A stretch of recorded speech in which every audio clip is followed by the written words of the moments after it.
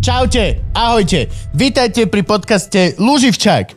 A hádajte, čo vám práve neznie do hlavy? Reklama. Ak sa náhodou pýtate, ako je možné, že nemáme reklamy a stále toto dokážeme vyrábať, odpoveď je... že máme Patreonov, ktorí nám prispievajú na tvorbu tohto podcastu a vlastne keď to počúvate vy zadarmo, tak oni za to zaplatili. A ešte vlastne aj na Buy Me Coffee sa dá prispieť. Hej, ale Patreon je dôležitý. Áno. Buy me coffee kvôli Frankovi len spomínam. Aha. No ja aj taká nepijem. Ja pijem veľa kávy. Takže chceme vlastne povedať, že vám ďakujeme. Ďakujeme vám. Z celého srdca. Veľmi. Aj pečenie. Na ticho, už, už nech idú na epizódu. Už.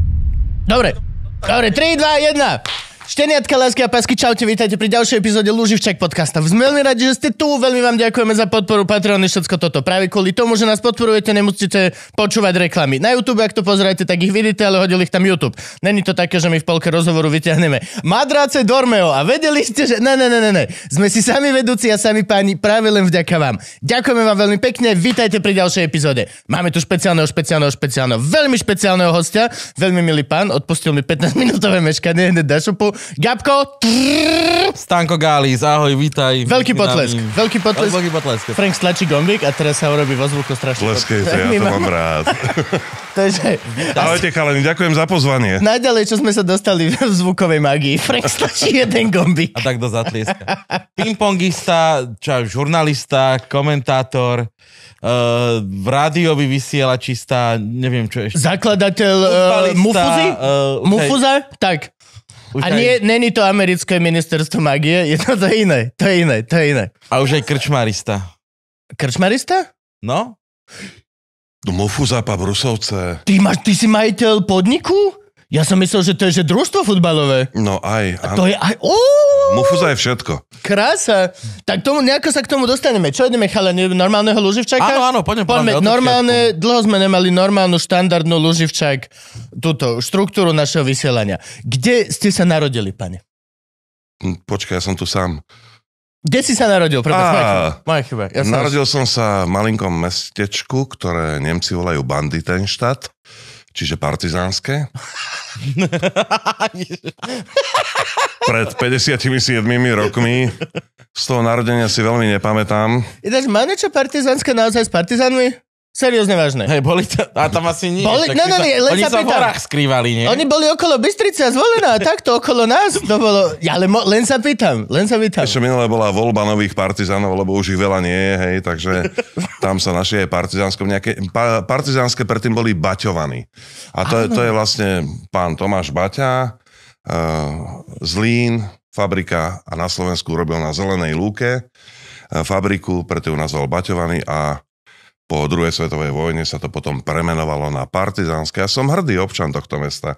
Je to krásne mestečko. My sme to vždy volali Baťovka. Keď som ja som chodil Áno, do, do jasne. Topolčia na konzervatórium a vždy cez Partizánske alebo okolo som stopoval kamiony smerom buď do Brna alebo domov do Šťavnice.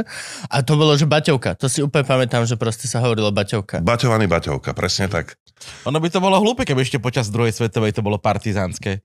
že by tí Nemci, že nevedia sa tí partizáni. Ty počuj, tu je také mesto. To by bol krycí názov Osie hniezda. Na schvál to nazvali partizánske a boli okolo Bystrice všetci proste zahlusili. Vieš ako? Klamanie telom sa tomu hovorí. Takže ja som hrdý partizánčan od 14 rokov v Bratislave. Gymnázium, konzervatórium, stred, stredná premi- kon, gymnázium? Um, dokonca matematické gymnázium. Gamča, Červená armáda. Tam chodila moja mama. Aha, ale nie so mnou. Sonia Nosalová chodila na Gamču, presne tam. Moja, No, moja no, mama. no. Takže vidíš, no ja som sa asi trošku zmýlil povolaním, lebo Ona tiež divadelný režisér. Seriózne, vážne. Nie, tak ja som športoval, ja som hrával ping-pong a v 14 rokoch hral som za Topolčany, teda ty si chodil cez partizánske domov, ja som chodil do Topolčian trénovať. No a v 14 rokoch som chcel, samozrejme nie kvôli matematike, ale kvôli ping-pongu a trošku aj okusiť svet. Teda som sa prihlásil na matematické gymnázium. Čo čert nechcel, zobrali ma. Boli tam aj talentové skúšky, zobrali ma, hej, ale, ale to bolo asi tak všetko, čo som pre slovenskú matematiku urobil, že som začal naštevovať toto gymnázium. No. A stále bol ping-pong u mňa, stále, stále na prvom mieste.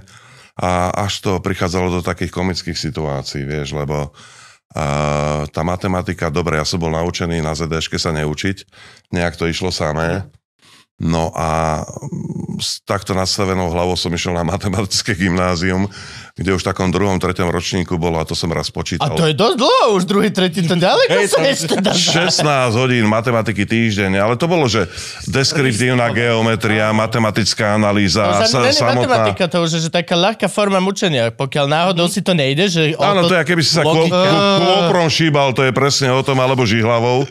No a ja, ja popri tom, ako som mal tak 250 odchýbaných hodín za pol rok, môj tata slovenčinár v Partizánskom na priemyslovke mal maturitnú triedu a vždy mi povedal, keď videl vysečne, syn môj, moja celá maturitná trieda dokopy má len o 100 hodín odchýbaných viac ako ty. Si mi veľmi sympatický, ja som kvôli tomu to prepadol na konzervatóriu, mal som čisto jednotky, herectvo, tanec, spev. Čisté jednotky. Na klavír som nebol ani raz za rok. Ani raz. Mal som dvakrát týždenne mať klavír, všetko to boli neospravedlené. Aj som si to vždy nahradil, že išiel som k doktorke a dal som si štempel toto všetko. No, počkaj. Ale všetci vedeli a triedna na konci roku povedala, že klavír ani jednu nemáš ospravedlenú, lebo presne vieme, že proste nie, sorry. A prepadol som, lebo som proste mal čisto jednotky a zrazu instantne podľa tých tabuliek štvorku zo správania. Alebo trojku, alebo jak to bolo. Tak som išiel do Topolčan na súkromné konzervatóriu, kde som dostal jazzovú trubku. K, Joško, k Joškovi Krasulovi? A áno, Joško tam učil, Joško Áno, tam áno. učil. Ja som mal pani Ravingerová, pani učiteľka Ravingerová. A to bola super tiež. No a my sme to mali tak, že ja, keďže som teda hrával za Topolčany, trénoval som v Rači, kde bolo stredisko vrcholového športu, tak e, hlavne teda v prvom ročníku to si ešte hrávala aj za žiakov, ale už aj za dorastencov. A pre... Stále ping-pong. Stále ping-pong, hej. A ja som diagnoza ping-pong. A predstav si, že bolo 10-dňové sústredenie, ja toľko odchybaných hodín a povedal som triednemu, že uh, mám ísť na repre sústredenie. Uh-huh. Prevrátil oči, dobre choď. A odtiaľ mu volám, mm, pán profesor, nehnevajte sa, ale žiacké sústredenie skončilo a teraz na, nasleduje dorastenecké. Neexistuje. No. Tak potom volal som riaditeľovi. Ten, Neexistuje, aby som došiel naspäť, je to pre mňa veľká šanca, ste chceli to, povedať. to, bolo, to, to bolo v prievezi, to si pamätám. Tak som potom pánovi riaditeľovi volal a ten mi nezdvihol telefón radšej, lebo už mu triedny povedal. Ja s tým triedným sme teraz veľkí kamaráti, paradoxne. No ale e, jedného terajšieho kamaráta, otec bol šéf bratislavských stredných škôl, tak som mu To sa dal... dalo? Prvýkrát počujem o tejto funkcii. Možno nejaký Uber riaditeľ? Nie, nie on, naozaj, on, on, mal, on mal pod palcom a jeho meno je veľmi známe, preto ho nebudem hovoriť. A e, ja som volal, že Je to Voldemort. Uh, nie, bo- bol to, bol to taký rodinný známy, že, že ujo, oni ma nechcú pustiť na sústredenie, aj keď na jednom už som, ale mám ísť aj na druhé. A ja síce nehreším, ale doslova citujem. Toto ti tie kurvy povedali. Áno, za pol hodinu mi volal, že no máš to vybavené, ale musíš sa doučiť. Takže to, takto Deti som... sú brutálne. Ináč v tomto... To, to, priznajme si to teraz ako dospelí chlapi, že proste ty ako decko, dajme tomu, že zapne to podľa mňa tých 7, 8 a do cca 16 si brutálny. Proste, že cez, cez mŕtvoly je to jedno úplne. No a ešte, ešte ja som mal veľmi nízky tlak, hej? Ako teraz vyzerám dosť natlakovaný, ale uh, v tých 14-15 som nebol takýto. Ja som mal zakázané skákať do výšky. Fakt? Taký Eh, vysoký človek? Aj to Uh, hej, hej, ja som mal zakázané skákať do výšky, keď fúkal vietor. Mm-hmm. Vieš, tie veľké trenky a toto, ja som mal pri mojej výške 1,93 m, asi 72 kg v plnej lyžiarskej výstroji, takže si to vieš predstaviť, to prvý človek, ktorý poznal Rogalo na Slovensku som bol ja. No a nízky tlak mi namerali a pani doktorka, ktorá bola priamo v škole, Mhm. ja som raz odpadol, tak ma zobrali k doktorke a namerali, namerali mi tlak 80 na 40. To, to Taký už... dobrý hypisácky tlak.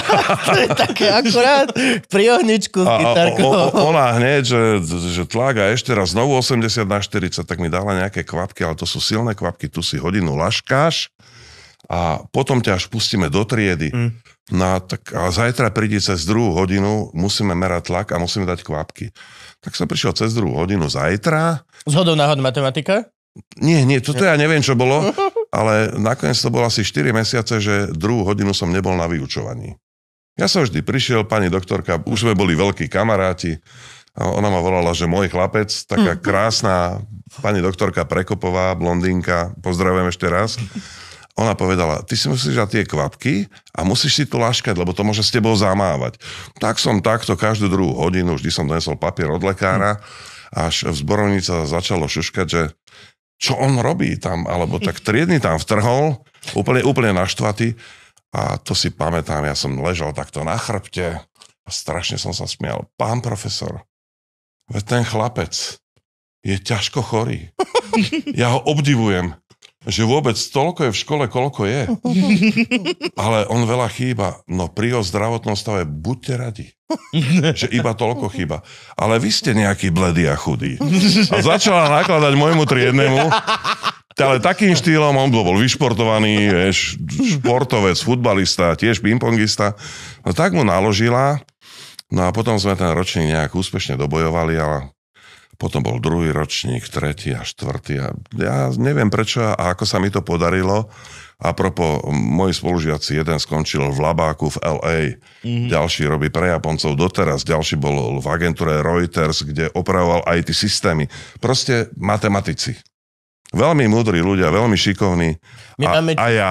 No, my máme číslo na pána, čo bol mojej mame pa, tam uh, triedny a bol to, že na, tam hlavný pán učiteľ matematiky, starý pán a momentálne vydáva matematické knihy pre deti. Extrémne krásne. Máme, chcem ho ako hostia. A volá, máme na to kontakt. A volá sa Peter Bero, číslo ti dá. Áno, áno, áno. No, a jeho syn je náš veľký fanúšik, majú vydavateľstvo, normálne vydávajú knihy. No a už, ke, už keď si to meno povedal, tak Peter Bero bol môjim triednym.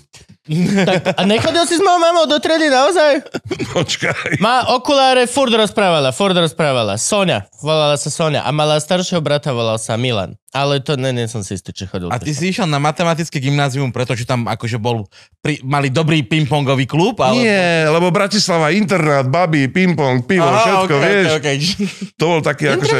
Ale však bolo toľko na výber, tak prečo matematické gymnázium? A na ZDŠky mi tá matematika išla, nejaké tie Pythagoriady sa okay. aj po, povyhrávali, no tak a bola to najľahšia cesta. Ja keď som si predstavil, že mám ísť na nejakú elektriku, ja doteraz ako keď vidím žiarovku, tak si dám radšej rukavice a podobné mm. veci. Vieš. Mám predtým rešpekt, hej.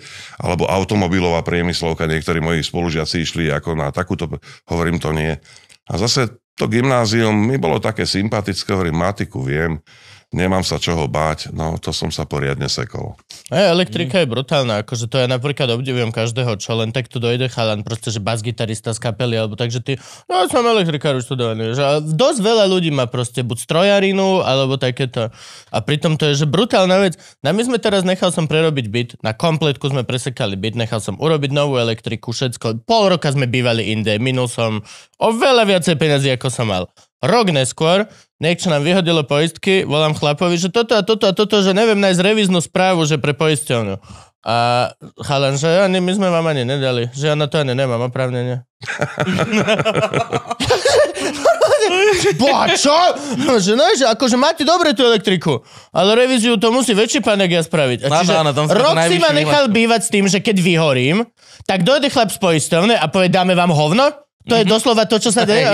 že hej, že chceš číslo na technika? He, áno, chceš čo, prosím ťa, Miško, daj mi, prosím ťa, číslo na technika. Merak uh, spraví, máme svoje techniky. Uh, voda, rasi, voda rasím alkohol, vieš. To už ani, už normálne sa bojím, už sa bojím, len dneska sme tiež s mojou pani, sme dneska volali naspäť všetkým robotníkom, že čo všetko máme a čo nemáme, že čo nám ešte treba. Ja keď ťa tak počúvam, Rok... tak si choď odpoistiť byt, lebo máš poistený úplne zbytočne. Very that. Už som mal mať našporené na druhý. No. Kurník šopa. Naťahá na druhú elektrínu. No a po skončení toho Gimpla som pracoval ako čašník, asistent kamery v slovenskej televízii. To bola zlučená funkcia? Potom som robil revízora v dopravnom podniku mesta Bratislavy. Akože normálne. To poďme, poďme, no, normálne, poďme, poďme, poďme, Normálne. To, toto ma napríklad zaujíma. To vtedy ste boli tiež tak platení, že koľko si si chytil, toľko si mal? Vieš Oni čo? teraz sú tak platení? Ja som počul, že hej, neviem. O, no, to by sa mi páčilo. Uh, neviem. Práve, že nie, to není to. Ne, to je Neviem, ako to je teraz, viem, ako to bolo vtedy. Uh, ja som mal sladkých 18 a revizorom si sa mohol stať, až keď si mal 23. Mm-hmm. ale šéfová sekretárka bola dobrá kamarátka, tak som dostal výnimku. A mňa to strašne bavilo, ja som študákov púšťal, čiže keď som išiel do Elamu alebo do, do Uniku na e, do, e, do Mlínskej Červený doliny. koberec normálne vyrolovaný. Nazdar, ty si mal... len, len borovičky, ak cyklistom, vieš, vody, keď podávajú. Presne ako hovoríš, ako to, to bola úplná fantázia. No a robil som to v lete a práve odtiaľ som sa odpichol, že najprv som robil re- revizora, až potom čašníka, lebo vždy sa tí revizory stretli v tej kadibudke tam ráno a to, že ja pôjdem robiť ružinov, ja pôjdem trolejbusy robiť. A ja som prišiel také kraťasky, biele ponoštičky, jak Habera na fotke s kotom, hej, tréniročky. A mal som taký vak a hovorím, ja dnes robím zlaté piesky. Oj, oj, oj, oj. Takže som väčšinou chodil na Zlaté piesky a tam bolo aj dobré pivo vtedy ešte. No a s tým šéfom sme sa tak nejak skamarátili. Hovoria, nechceš ísť robiť ku mne? A hovorím, chcem. Tak potom som po dvoch mesiacoch alebo po troch revizorovania išiel robiť čašníka na Zlaté piesky, čo bola tiež veľká A strana. kam? Do, do, do vodníka, či do ktorého? Nie, nie. Tam priamo v areáli bola, bola taká dlhá reštaurácia, kde sa vydávali nejaké menička, mm-hmm. kde chodili tie autobusové zájazdy. A je tam ešte? To netuším, ne, nebol som tam možno odvtedy.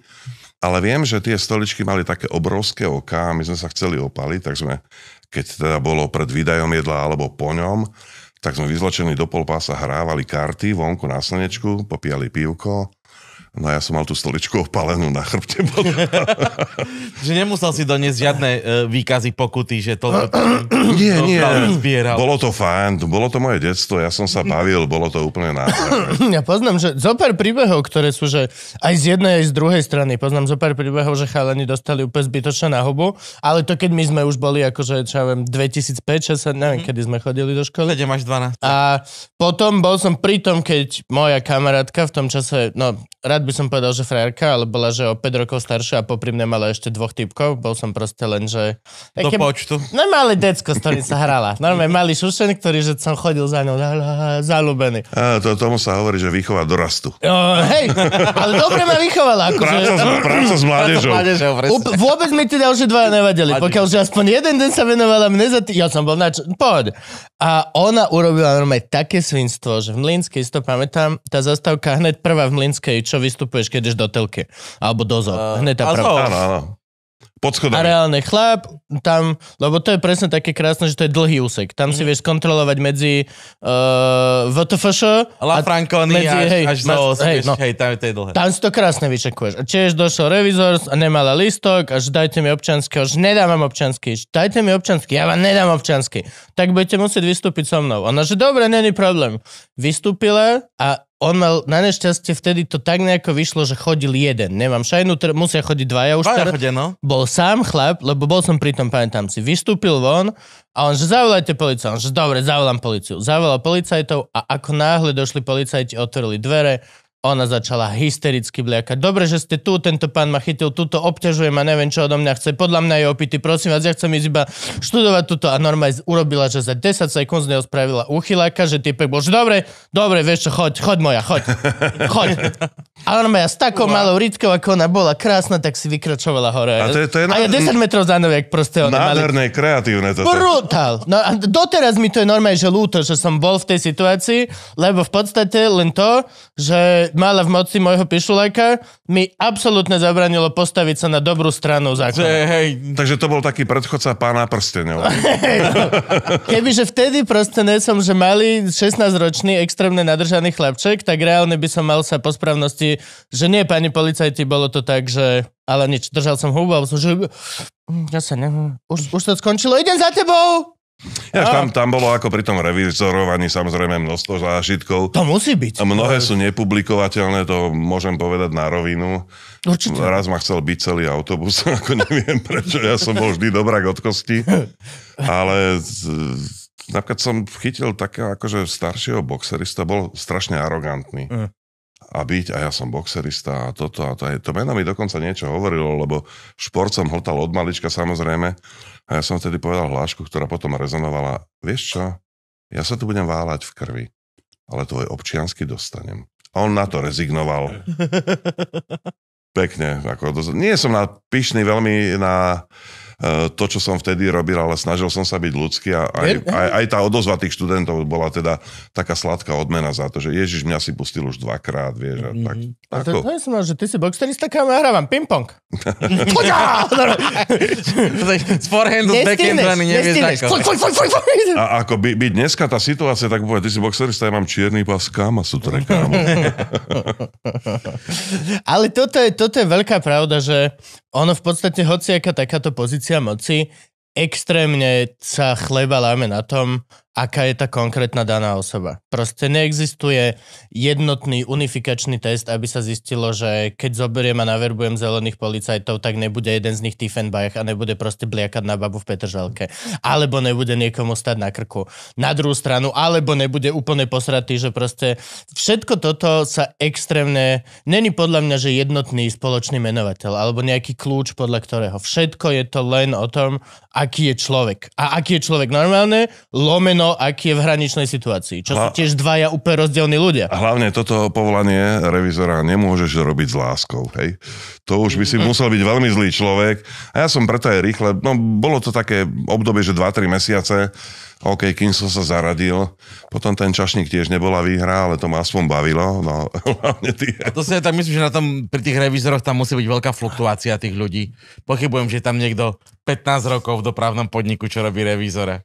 No, za mojich čas tam boli aj takí, že hej. 20, 25 rokov, normálne, Hej, že ale... Hej, je to stabilné Ale tak to bol ešte socializmus, nie? No, to, tak, to je hlbok. Tak, Ale aj hej, teraz. tak sa to robilo vtedy, ale Vieš čo, dneska... nie. Počkaj, vzhľa- vzhľadom na môj vek rozmýšľam, či to nebola prvotno pospolná spoločnosť, ale... Je to, sleduj, je to stabilné povolenie, si štátny zamestnanec, čo minule, ako som sa ja dozvedel, tak je Eh, veľký problém vyhodiť štátneho, alebo, no, Vtedy to nebolo štátny zamestnanec, neviem, aký e, štatút majú teraz, ale vtedy to nebolo. ale reálne máš proste, máš tú istotu, o ktorej proste my, umelci, môžeme snívať, kámo. A není tam podľa mňa až taký veľký tlak, že mm, ťa vyhodia, lebo 10 ľudí chce nastúpiť, alebo niečo. No a vieš, pokiaľ vie- nerobíš vieš fuck-upy, po- tak to môžeš robiť Po, podľa mňa tlak tam je, lebo naozaj, ako si spomínal, tam bol základný plat. Hm? A tam sú benefity, ako Áno, ho, chodíš zadarmo. Za každú ovečku alebo za každého chyteného Mhm. si mal nejaké percentá, hej? Aha. Z niekoho promile, keď si ho pustil z niekoho percentá, ale v každom prípade boli bonusy, hej? Čo sa týka uh, tej práce a konečných výsledkov. A ja som meka pova, ja som ako nemal to srdce, ako trošku som sa minul povolaním, ale bavili ma ľudia, ktorí boli vtipní, ktorí vedeli pohotovo zareagovať. Aj, aj, aj. Hovorím, kámo, dobrý, choď. A práve tých študá, študákov však tiež som akože nastúpil po Gimply na vysokú školu. Nezobrali ma na herectvo, to si myslím, že slovenské herectvo urobilo veľmi dobre, hej, lebo slabých hercov máme, Mm. takže by sme ich vidlami vedeli prehadzovať, takže nemusel som byť ten ďalší v poradí. Môžeme, ale keď to skúsiš, tak všetci sa stiažujú. Čo robíš s tými vidlami? Vieš, takže ja som potom nastúpil akože na prírodovedeckú fakultu. Oh. A, prífuk. a akože učiteľstvo matika zemepis, ak si dobre pamätám. To je pekná kombinácia. Ale, ale po pol roku som odtiaľ odišiel, lebo ja som pôvodne chcel študovať práce v dielni a dozor na chodbe a to neotvárali ten rok.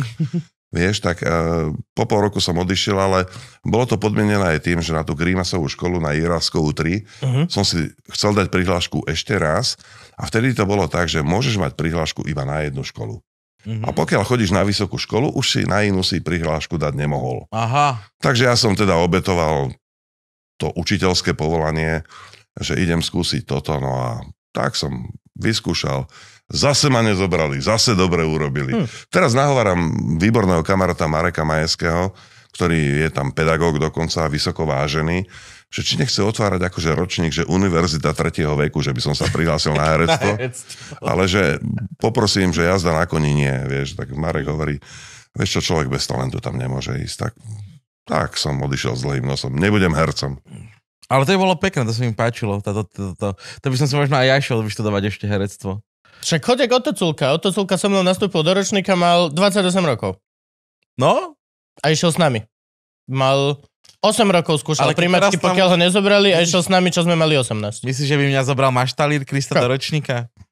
Tam No už na ramenách asi nie, ale ta- tam už neverú takých, vieš, jak ja. vieš, vezmi si ma pod krídla, že kámo, ja nemám také krídla.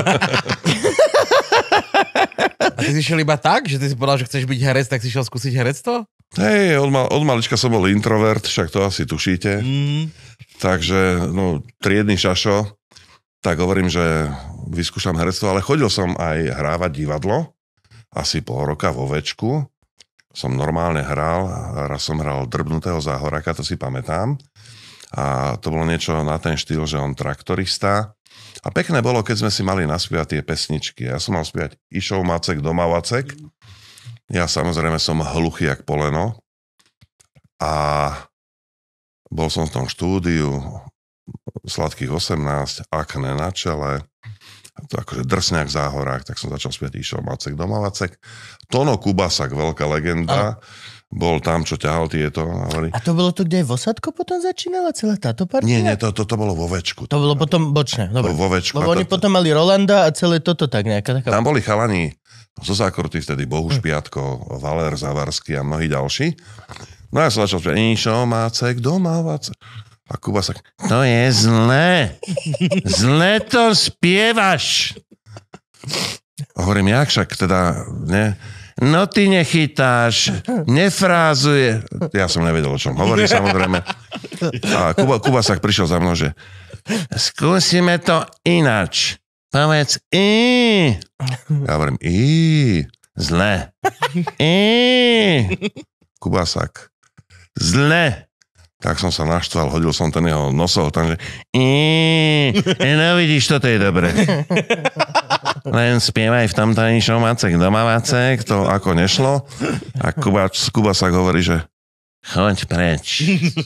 Ja to naspievam. Čiže ja s mojím hlasom, trošku hrubším možno, hovorím stále o hlase dámy, som bol na javisku, tam som to odohral a vtedy prišiel ten môj solo part a tam bolo, že dobrý deň, toto, toto, takto, takto a ja som Macek, som Mavacek.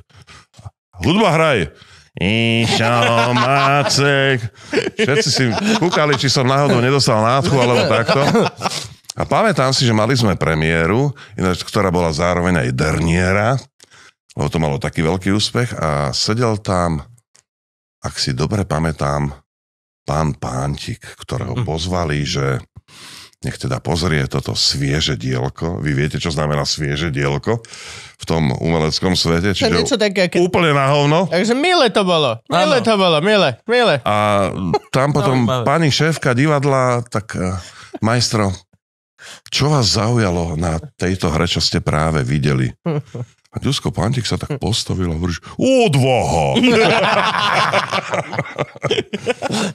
Nám tiež takto robili, že normálne sme si zavolali profaka na skúšku, pozrieť sa, že jak teda nám ide progres a tiež potom scenografka, režisérka, doslova sme počuli rozhovor, že no, že ináč, že, že čo, jak to vyzerá. A normálne, že som videl chlapa, jak sa pozrel do očí babe, roztrasené režisérka a povedal, že tak miestnosť pekná. to je to salam banán. Zložená, proste zložená. Mala takto všetky, všetko znečené. A stále si hral ping-pong ináč počas tohto? No ja som na Gimpel nastúpil v roku 80. Čiže 90. roky už lesné. A končil som 84. Všimni si, že som neprepadol. Mm-hmm. Hej, a Čo?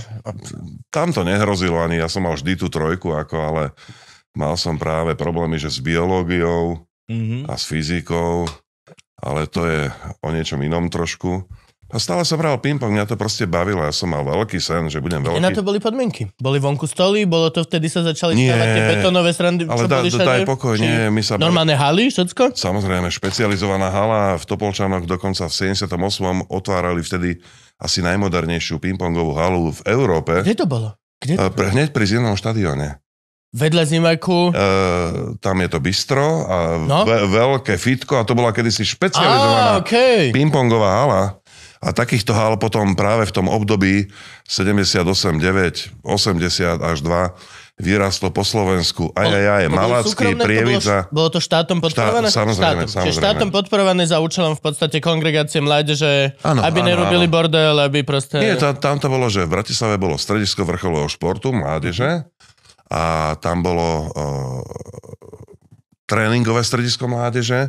Ako náhle uh, klub mal tento titul, tak dostával dotácie, dostával a, poťahy, dostával mm. loptičky.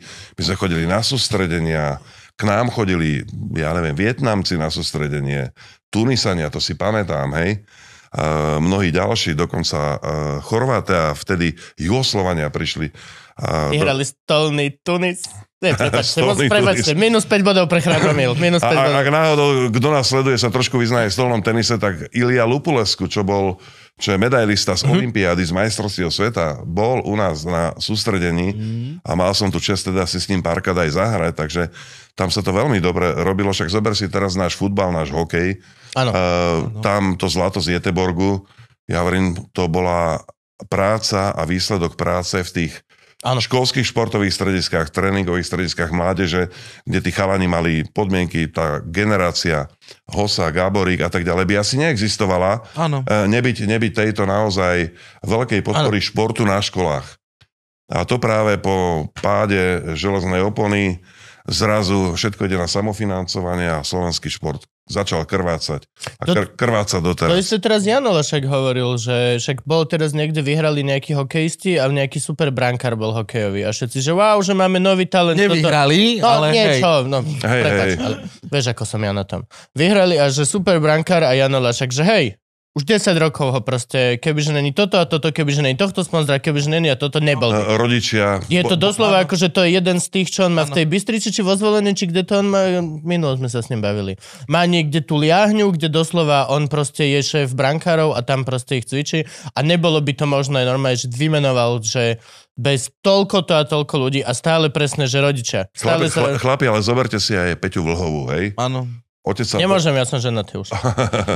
Ja by som si ju zobral. Je? Moc vysoká. No jasne, to je jediný problém. Vieš čo, ale niekde teraz je strašne smutná Peťa Vlhová. Koľko ja som chcela to, Ježiš Maria, až teniatko zrovna má, joj. Zober si Peťu Vlhovú, keby tata nepodnikal, nemal firmu, nemal No. jej to ako platiť tie lyže. Zober si Sagana, zober si Veroniku Zuzulovú. Tam išli strašné, strašné peniaze. Mali... V útlom detstve a nevieš, či tie peniaze sa ti niekedy vrátia, hej. Uh, môžeme si zobrať Sagana, môžeme si zobrať ďalších týchto športovcov. Kamarát má tenistu výborného, naozaj, bývalá európska jednotka mládeže pred dvoma rokmi ešte. A to je strašné. Platíš trénera, platíš kurty, platíš uh, sústredenia, výjazdy, Letenky. všetko. Leteň. Ja, ja sa bojím, že naozaj šport sa stáva za záležitosťou len tej bohatšej vrstvy Len- obyvateľstva.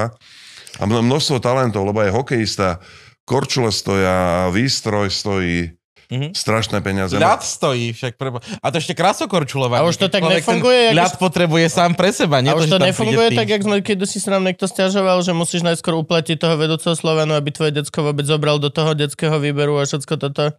A len sa tam niekto nám to hovoril. V každom prípade mali sme tu aj babu pa- paraolimpičku, koľko, 17 ročná, slepá lyžiarka. Chodí, že 90 km dole kopcom, bez zraku. Dostáva troje lyže na sezónu, dvoje povedala? Tak to bolo. Dvoje lyže na sezónu. No, A- a, aspoň niečo, ale samozrejme... 10 eur na letenky, No, ktoré potrebuje, že to je to. Mňa A- stojí a- 200 eur skýpať letenka niekde na štúleku najbližšom, alebo no proste vieš, čo myslím. A z- zober si Jana Lašaka, tí bránkári, tie betóny. Jano vybavuje po obchodoch, aby tí ich chalani to dostávali. Normálne, že jeden po jednom kus. Nie, že zavoláš Baueru, že pošlite nám prosím 30, máme tu. Ne, ne, ne, chodíš po Exisport, po Exisport, po Exisporte Áno, áno. a pýtaš jeden. Prosím vás, nemáte jeden, nemáte toto? Dobre, To masaker. Jano je meno, tým pádom... Keď, Vďaka keď- Bohu, Áno, vďaka to- Bohu pre nich. Predstav si, že nemajú. Že stále dobre, niekde preč. dobre, ale nie každý je u Lašaka, hej? Aj No veď, áno, áno, áno. Vieš, a zober si po Slovensku, koľko je talentovaných deciek. Hm? Lebo my Slováci uh, nie sme hlúpi, aj keď vzhľadom na súčasnú politickú situáciu by sa dalo oponovať. Je to len obdobie, je to len obdobie. Ja verím, že prechodné. Ja. Už ten prechod trvá 34 rokov. Áno. Aj tak takéto obdobie. Ale Slo- Slováci majú danosti na šport. Ako Veľmi. To si povedzme na rovinu. Ja napríklad vždy som obdivoval, keď som bol aj v Chorvátsku, tam všetky decka vonku hrali basket, ja neviem, plávali, Mhm. futbal hrali, mastili a toto, keď ja som bol dieťa, čo bolo v minulom tisícročí, hej, my sme od rána do večera boli vonku na ihrisku a bolo jedno, čo si robil, ale niečo si robil. Mhm. Včera Ríško Turi vyboroval pre Slovensko 5. miesto na svetovom šampionáte. Skateboard. Áno, Mhm. 5. na svete. úžasné, Krásne. úžasné. Vie, vieš, vieš, ako sú tie mená okolo neho, ako si chlapci žijú v LA, majú vily a Mercedesy a obrovské sú Ríško... Nie, lebo proste e, za prvé európsky tým, čo je veľký rozdiel, a za druhé európsky tým zo Slovenska.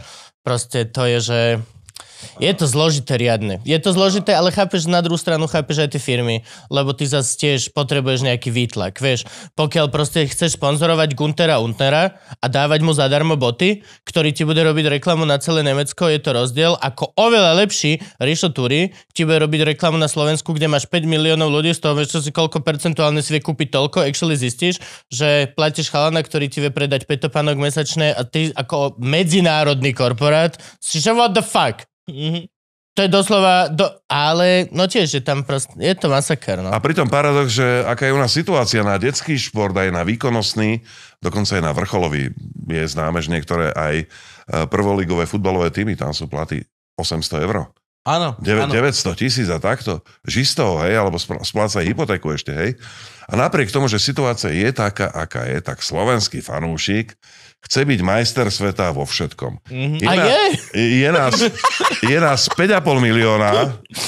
My, my, on od nás chce, aby my sme porážali Kanadu v hokeji, Áno, áno. No je- Šve, je- Švedov. Fínov. A ideálne 6-0, to nelen tak. Však nám no. to už raz je skoro vyšlo pred hokej. desiatimi rokmi, kde je problém? A to pritom Slovensko má menej hokejistov, ako má Kanada zimných štadiónov. Áno. Vieš? Nie, per capita sme úspešní. Extrémne. No. Per capita, keď si rozdeliš medzi hoci koho, No, sme môžeš, extrémne môžeš si úspešní. to premieniť na druhú stranu, že Fíni sú rovnako veľký národ ako my a sú to niekoľko, vieš, akože Dobre. hokeji. U nás je To nedá 8 tisíc registrovaných hokejistov, hej? Vo Fínsku je to možno 100 tisíc. No, A sú tam úplne iné podmienky. My chceme, aby sme boli majstri Európy minimálne vo futbale, Mhm. Hej. Bez ohľadu na to, že tam je Španielsko, Nemecko a ďalšie a ďalšie Holandsko. krajiny, Holandsko, Portugalsko. Hej. Ja fakt neverím, že Holandia nehrajú nejaký šport. Reálne, seriózne, vážne, nie všetci húlia v Holandsku. Nemusia všetci, ne, ne, ne, ne, ne. Vôbec to není o tom. Len proste oni mi neprídu, jak taký národ. Už čo som tam bol, oni proste sú takí, oni sú knižný národ. Oni sú... Mimo Amsterdam, nielen v Amsterdame. Bol som aj mimo Amsterdam, ale oni sú takí Tam veterné mlyny, tulipány, knižný dreváky. národ, oni sú proste také vysokí. Ak by som niečo, že vedel by som si predstaviť, že dobre, že hrajú basketbal na priemerne dobrej európskej úrovni. ale, ale to sú také prekvapené. Tak holandský- Maďarský hokejový tým. Vieš, čo sa deje práve. A potom, hej, jasné, však majú aj rovinu všade. takedy sa Hej. No, jasné. To není také, že ak my v Tatrách musíš si urobiť, aby si mal rovno. Ak ja chápem. Ináč to je trošku pravda, tie zimné športy v Maďarsku, Balaton zamrzne. Ja bývam v Dunakility, hej, ja bývam v Maďarsku. Ó, Bratislava 7. Tam ešte máš one. Rajka je šesť. Ešte ti platí na MHDčku listok, vieš, Jasné, tretia zóna. A jak e, 3, 4, 5 dní dozadu kalamita na Slovensku, tak ja som tak smutne pozeral na tú zelenú trávu. že, a sem ani jedna kalamita nepadne. Došiel sneh, došiel sneh, včera donesol vlak zo Žiliny, akurát došiel s mojou ženu a dieťa donesol vlak zo Žiliny a presne z kolie z Bratislavy on odpadol takto sneh. A bol to, že jediný sneh, ktorý tam bol. Ja som takto presne pozeral včera ešte na Instagrame storku kamaráta, že dával fotku, že je zasnežené celé Tatry, že pol metra snehu na aute, že ho nevedel vybrať a ja venčím psa, máme takéto snežienky už na tvore tuto v. Čiže máme tiež snežík, ale trošku inak, no. A ty, aj si dopracoval sa k nejakým výsledkom pingpongovým? Akože povyhrával si niečo? Ale tak ja som, naj, najlepšie, čo som bol v pingpongu, tak to bolo, že v mužskom rebríčku 20. 21. Akože na Slovensku, v na, Európe. na, V ženskom jak? na Slovensku. V ženskom tak stále bojujem. Občas je to oprsia, že sa tam dostanem. Závisí od veľkosti prsa, samozrejme, hej. Ale... A, Akože normálne prvá liga, hej. áno, 10, 10 rokov som hrával prvú ligu. A ja som najprv partizánske, však odtiaľ som teda, mm-hmm. tam som začal, potom Topolčany, potom som bol na vojne, e, Liptovský Mikuláš, odtiaľ som išiel Svetý Jur, odtiaľ som išiel do Galanty, odtiaľ som išiel do Senca, potom som išiel do Pezinka, kde som býval, potom som išiel do Bernolákova. Čiže ja som si tak aj pochodil. V Ružomberku som ešte hrával. Vieš, takže... To som našiel na Wikipedii, že Ružomberok. To akože si, čo? Niečo, len som si prechádzal Wikipédiu. Ale... Akože jeho Wikipedia. Áno, áno, športový klub Ružomberok. Aha. A že fotbalista, hokejista, zistím. uvidím. Ja som ani netušil, že, že Wikipedia, ja, my nemáme nič spoločné. Máš, jasne, áno, máš, máš normálne celú stránku, všetko vypísané. Nekecaj. A akože Kontroluj profesionálne. si, či dobre, lebo môžeš... Ale ináč, hej, to si tam... Tak to je kokotino, tebe Kontroluj si tam, môže hoci kto napísať, to, hoci čo. To bude asi tá recesia, to radšej si nebudem kontrolovať. A, Presne, že keď nám ho prvýkrát vrátili mimozemšťania a ty, že toto, sme si istí, že toto sám si písal? Pozdravujem neznámeho autora. Áno. Pozriem aj vdovu po neznámom vojakovi. Ja Hej. zistí, že všetko to ten triedny, vieš, každému vypísal. Nie, je to úžasný chlap, naozaj. Ako... Jej, budeme ho tu mať ako hostia. Neviem, dúfam, že teda jeho, lebo uh, on už je starší pán, ale... Ale nevyzerá. Nie, a že vraj je brutálny. Mne ho mama s tým predala doslova, On že je je, brutálny. on, on je naozaj tak štihlý, jak vtedy, keď mu pani doktorka vynadala, že mal by viacej papať a viacej vitamí- vitamínov. On sa nemení, ten chlap. To je obdivuhodné, ako mu, ako mu hlava slúži. Dokonca trénoval futsal, eh, prvú ligu. To je cez sieťku? To je ten food... No, Nie, nie, to, je, nie. To je, To je no, futsal. Čo je futsal? To je futbal, len v hale. to je futbal v hale. Á, okej. Na Okay. hádzanárske Či, brány. či sálovku, to je jedno. Ja už Ok. tiež mám v tom hokej a preto som športový komentátor. Takže naozaj, to je veľmi dobrý typ, páni, to si užijete. Dobre, tešíme sa. Kolnem ho, kolnem ho. A to sa, bolo to aj nejak honorované? Akože veľ si si zarobiť niečo ping-pongom? Či to bolo len akože... Vieš čo, do tých 18-19 rokov nie, ale potom áno. Nejaká korunka z toho padla. Raz som dostal takú životnú ponuku. to som hrával, počkaj, vtedy som bol v Senci, sme hrávali prvú ligu.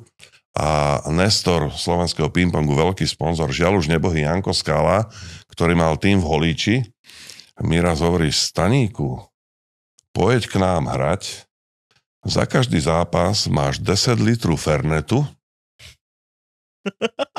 to sa hral dvojzápas za deň, hej, čiže 20 litrov Fernetu. Už prepočítavam. Vtedy to stalo 300 korún liter, to, to Monetizujem, to celkom pohode. Za každý zápas máš 10 litrov Fernetu, to znamená za víkend 20 litrov Fernetu. Platím ti benzín, hotel a slečnu. Tak som to ako doma povedal manželke, že dostal som zaujímavú ponuku. Potom som mu dva týždne nemohol zavolať, jak ma boleli zuby skoro. A dala sa z toho samozrejme nejaká koruna, ale ja som v živote nebol na takom leveli, že by som sa tým mohol až živiť. Mal som ponuku robiť trénera, profesionála a, a, a plus hrávať. To ešte keď som bol v Ružomberku, som hrával za SCP Ružomberok a to bol rok 90, to si pamätám ja, ako dnes.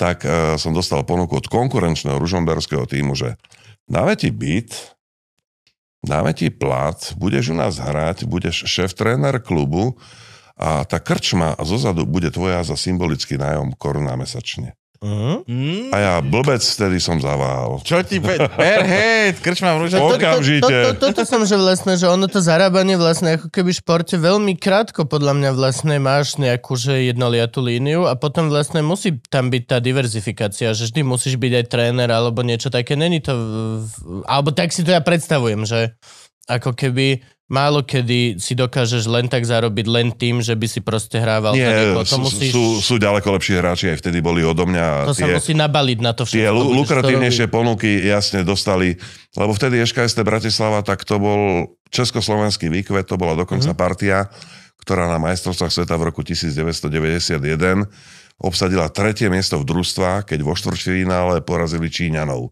OK.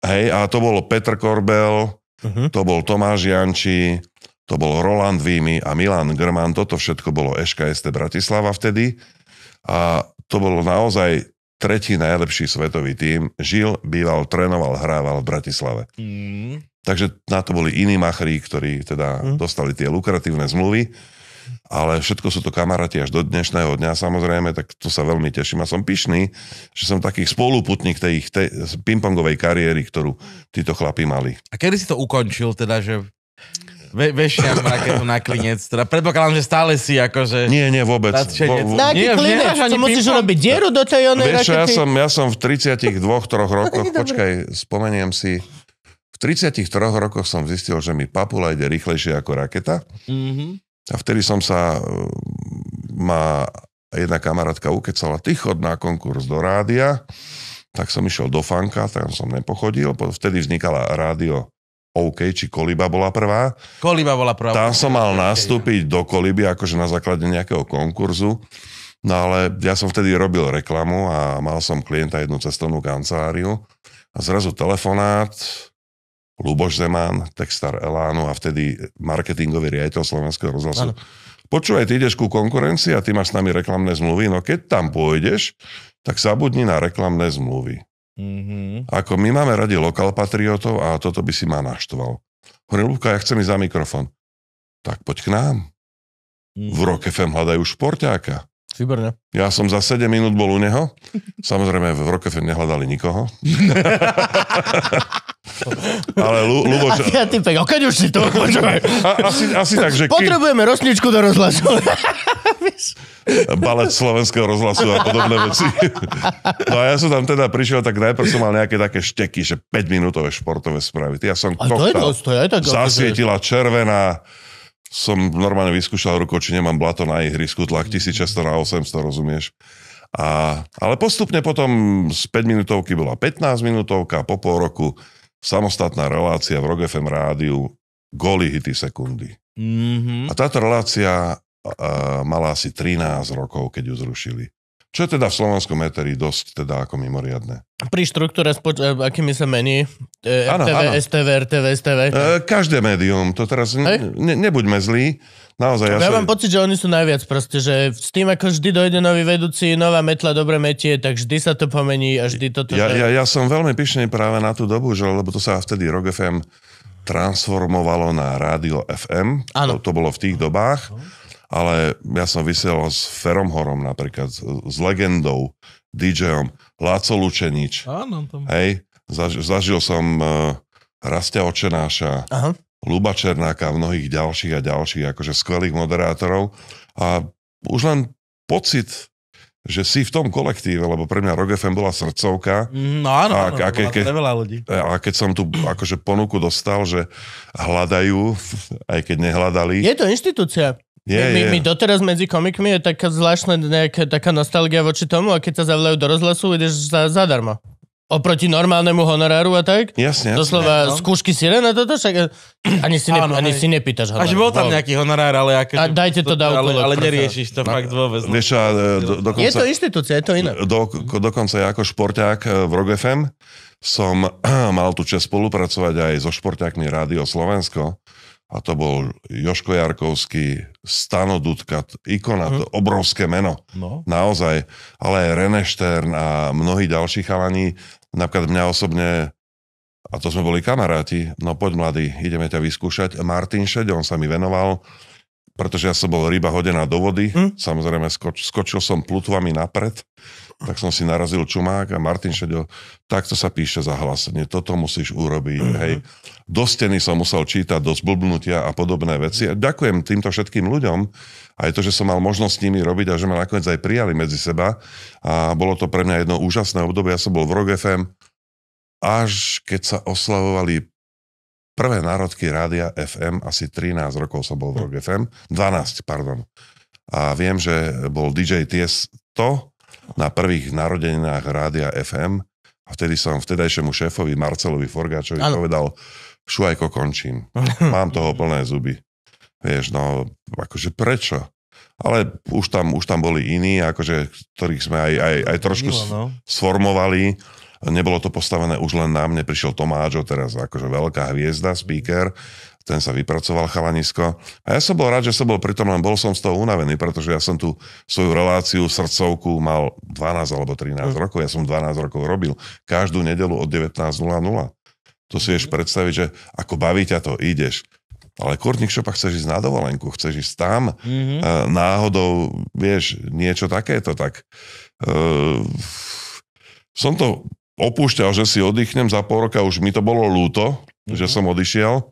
A to som ešte, jak som bol, začal v Rock FM, ešte sa zadarilo, v tej dobe e, vznikla teatrojka v 2001 roku, tak ešte tam som robil akože nejakým spôsobom. Už išli vysielať, pripravovali sa do steny, rozprávali všetko, kos, kostýmové skúšky a jeden športák im vypadol a vtedy si niekto spomenul na mňa, však skúsme tohto, Mhm. tak prvá zostava bola Dušan Gabáni, Petra Azacis a moja maličkosť, čo sme robili šport v teatri. Mhm. Takže ja som bol vtedy taký multimediálny, z rádia som utekal do telky, z telky do rádia. Bolo to krásne obdobie. Len e, raz som sa, e, som sa ponáhľal, mali sme doma, u mňa súkromne doma v Pezinku, nejakú veľkú akciu a som povedal, hneď, ak som odrapotal tie správy v kanadsko-americkej NHL, bla bla bla, tak som aj zabudol ísť do maskárne, sadal som do auta. Namalovaný make-up, kapky proti očiam, Hm? toto ešte od púdru. Mhm. Policajti ma zastavili. som otvoril, že som otvoril okienčko, hovorím, prosím. Hovorí, Mišo, serem na to ďalší, chodte. Takže v podstate ako... Uh, Otvoriť s tým, že čo, každý má tajomstva. Okay, dobre, dobre, ne, nepýtame sa. Uh, Ešte není tá doba. bola to naozaj, to bol rok 2001-2002, keď som takto fungovala. Boli to trošku dosti, ale veľmi krásna doba pre mňa. To, podľa mňa málo kto, akože pokiaľ robíš s láskou veci a tie, ktoré ťa naplňajú, tak ten hasl sa dá, dá sa stihnúť. Reálne, že veľmi veľa ľudí, čo, čo, čo sa rozprávam, tak zistujem, že práve to, kedy proste najviac robíš, asi najviac v tom švungu, tak je v podstate retrospektívne jedno z tých najkrajších období, na, na, na ktoré ľudia spomínajú. Práve to, keď si nevedel, kde ti hlava stojí, lebo tu si robil jednu scenografiu, no proste hoci ako reálne. Ináč, ale malo to aj ďalšie pozitíva, lebo bol si v dvoch médiách, tam si bol na obraze, tu si bol veteri, potom v Rock FM vznikla aj taká rubrika, že športoviny s mojím menom, mm-hmm. športoviny Stana Gali sa to vždy išlo na poludne, jingle, niečo 5 minút aktualita, mm-hmm. väčšinou s hosťom. A samozrejme, tam veteri, tam veteri, tak začali chodiť moderovačky. Mm mm-hmm. rôzne akcie. Vieš, a ja som normálne ako pričuchol k tomu mikrofonu, takže ma to začalo baviť. Ty si aj na show portáli som ťa našiel, že, Áno. že moderátor. A... Prvá vec, čo vyhodí. Hej, hej, hej. Presne, presne, dáš Stanogalis do, do Google, prečo vedie show portál, že si ťa ľudia môžu objednať ako moderátora a tak. Vieš čo, no, tých moderovačiek je za mnou niekoľko, z toho musím povedať. A naozaj, naozaj ma to strašne baví a vlastne uh, som jediný človek, ktorý moderoval všetky akcie Mufuzy. Mm-hmm. Vieš, jediný. Je to tvoje. A to, nie, nie preto, ale, ale proste tam je aj ten... Vždy sa mu ozvu, čo ty poviem? Vždy sa mu ozvu. Spokojný. Kebyže nechcú, tak sa mu neozývajú asi kamarát. Ozvem sa sám sebe si. ale hovorím, že to už je taký koníček, vieš, to už ako ja aj teraz samozrejme mám tie ambície, stále komentujem teraz šport už aj v televízii. Uh, že nejaké bitky? Komentuješ bitky? Správne som to pochopil? To, čo sa v tom Pentagone bijú? čo sa dá? Feťaci proti sebe. Nie, tam Nie, teraz im tam dali meských, one, stanicu meských policajtov, tam postavil Matúš, čiže teraz to bude ešte drsnejšie. Teraz to budú, že mesky proti obyvateľom. Ja som začal komentovať nejak v roku 2009 alebo 10, uh-huh. Mhm. jak vznikol Digisport, tak tam ma Jaro Šišolák zavolal, že počúvaj, dajme kávu. Hovorím, že dajme kávu, tak sme dali kávu. Že, Taká bratislavská. Že, hej, hej. hej. Preto tam hovorí bratislavská kaviareň, vieš. Dajme kávu. A hovorím, Jarko, čo potrebuješ? No, potrebujem niekoho, kto by komentoval tenis. Tak ja ako bývalý stolný tenista, to hovorím, však to, ten kurd je zväč, e, zväčšený pingpongový stôl. Mm tá taktika v hlave, čítaš tie údery, vieš, aká je rotácia. Áno. Hovorím áno. Takže v Digisporte som začal teda komentovať tenis, potom nabrali ďalšieho kolegu, ďalšieho. No a v podstate, keď to tak zhrniem, dnes viac ako 2000 zápasov odkomentovaných v tenise a tie bitky prišli popri tenise, lebo som... Tam Federer s týmto... so, som Hodili bol... rukavice. So, som bol... Ten, čo sa neočkuje, ten Jokic, poď sem kamera. som bol jediný, ktorý má krivý nos z Digisportu, vieš. Tak hovorí, no máme kickbox, že skús kickbox. Hovorím, no para, máš bude chodiť takto radšej. No ale e, jak som v detstve e, chodil na tréningy partizánskom, tak my sme sa o telocvičnú delili práve s boxermi. S boxermi? Hej. No vtedy boli aj karate kluby extrémne populárne. No vtedy ešte už, nie. Už, ešte nie? To, to, ešte to ani, bolo ešte predtým. To ešte ani Okinawa nebola vynorená oh. z mora, keď ja som športoval ako dieťa. A ja som, ja som si trošku aj pamätal tie údery, lebo box je jednoduchý. Tam máš uh, hák, No, uppercut, no, direkt, potom, potom rovný. Takto, máš zdvihák, hák a direkt. Máš tri údery v boxe. Mm-hmm. Vieš. No a kickbox, čo mi teda je, ponúkol vtedy šéf, tak tam boli ešte kopy, tak to rýchlo som si naštudoval, že to je high kick. A lakte? Nemôžeš lakte? Či to, ne... to je tajský box. To, lakte to, je, to, je, to, je, to je muay thai. Muay thai. Hej. Máš high, high kick, round kick a low kick. Mm-hmm. Tak takto vybavený som išiel začať komentovať. Prvé, prvé... Jak, jak na šachu, že viem, ako sa hýbu figurky. Môžeme ich... Prvé prenosy, potom, potom backfist a podobné veci, už to, už to prišlo. No a bola to organizácia Infusion, ktorá vtedy rovnako ako ja začínala, tak my sme rastli nejak tak spolu a mám za sebou asi 70 gala večerov, čo sa týka uh, kickboxu. A chodili ku mne aj veľké mená, Vlado Drakula Moravčík, napríklad práve Muay Thai, ktorý bol aj držiteľom opasku v rámci Enfusion. Ja som trošku aj potom vnikol do tej komunity, samozrejme, že už keď som si aj volal ako hosti, a ja som vždy mal trošku také morálne predsudky pred týmito športovcami, že pestia. Ja mám rešpekt iba. A ký, presne, rešpekt, lebo rešpekt. Mnohí z nich sú neuveriteľne šikovní, inteligentní, pohotoví, mm-hmm. naozaj s obrovskou A je sebadisciplínou. to strašne nebezpečné, lebo no dostávaš otrasy do mozgu. Či chceš, No, či veď. nechceš, či chceš, či nechceš. Od proste je to zrovna ten šport, je proste není to na dlhodobé používanie ten človek. V tom je obrovská odvaha, že ty ideš do niečoho, čo reálne vieš, že proste to je... z toho je ten box ešte najmenej škodlivý, Aj, ke, keď to tak zoberieš, lebo Áno. tie rukavice zväčšili svoj objem, Áno. čiže tá tvrdosť toho úderu je veľmi tlmená, ale keď si teraz zoberieš, že napríklad MMA, ktorí majú len také rukavičky, Áno. to je, keby si išiel na ples panička, vieš, tak tam tá rana, tak to je úder kladivom, vieš. Každým jedným KO si proste vezmu ti dva roky. A minimálny n- život. nehovoriac o tom, že tam aj tie kopy na hlavu, vieš. Áno, hej. No To je, ešte to je normálne láta do hlavy, ale zase to nie sú ľudia ako my. Áno, ale to- ten, ten mozog proste, vieš si píšťali okopať dovtedy, že to bude žimať jak z ocele. Ale ten proste tá hlava, to je, to je tá jediná vec, ktorú proste, že to je každé jedno KO, každé jedno čo, vidíš, že chlap padne na zem a Bulo ešte v tej energii ešte doskočí na ňo, ešte mu dvakrát mu ťukne. Hej, to- že to- dobre, dva roky, štyri roky. Zobral si mu práve 4 roky, čo mohol byť ešte s deťmi potom. To, to neviem, túto štatistiku, alebo, alebo to, čo vravíš, ale... no, ako to- e, samozrejme.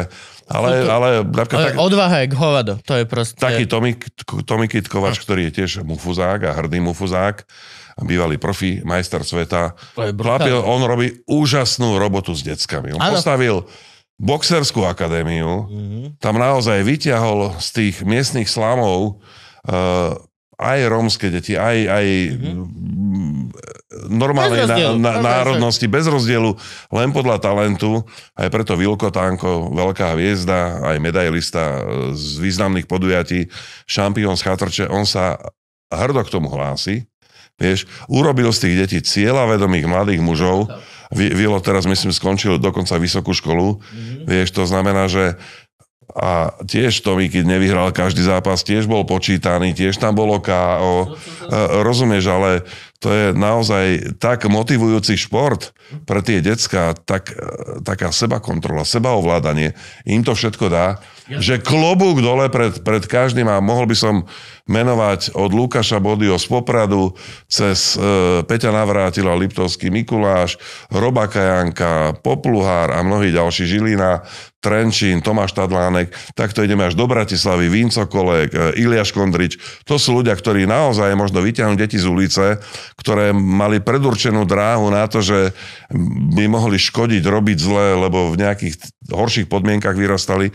Oni z nich urobili naozaj tvrdých chlapov, ktorí sa vedia ovládať, ktorí sú cieľavedomí a ktorí si vedia ísť za svojím. Podľa mňa A- každé decko by malo prejsť minimálne 2-3 roky jedno hociaký, ale bojový šport. Či už kľudne karate, alebo judo, alebo Mhm. proste je to, je, je to extrémne dobré na to, aby si si aj za prvé uvedomil vlastnú silu. Rešpekt, Uvedomil pokora, všetko. Rešpekt, Áno. pokora.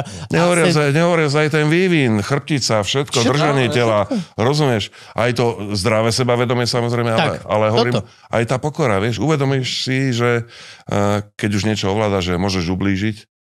T- takže hovorím, že aj vďaka tomu komentovaniu som spoznal komunitu, ku ktorej som nemal až tak blízko, hej, ale hovorím, veľký rešpekt. Veľký rešpekt aj pred výsledkami slovenských športovcov.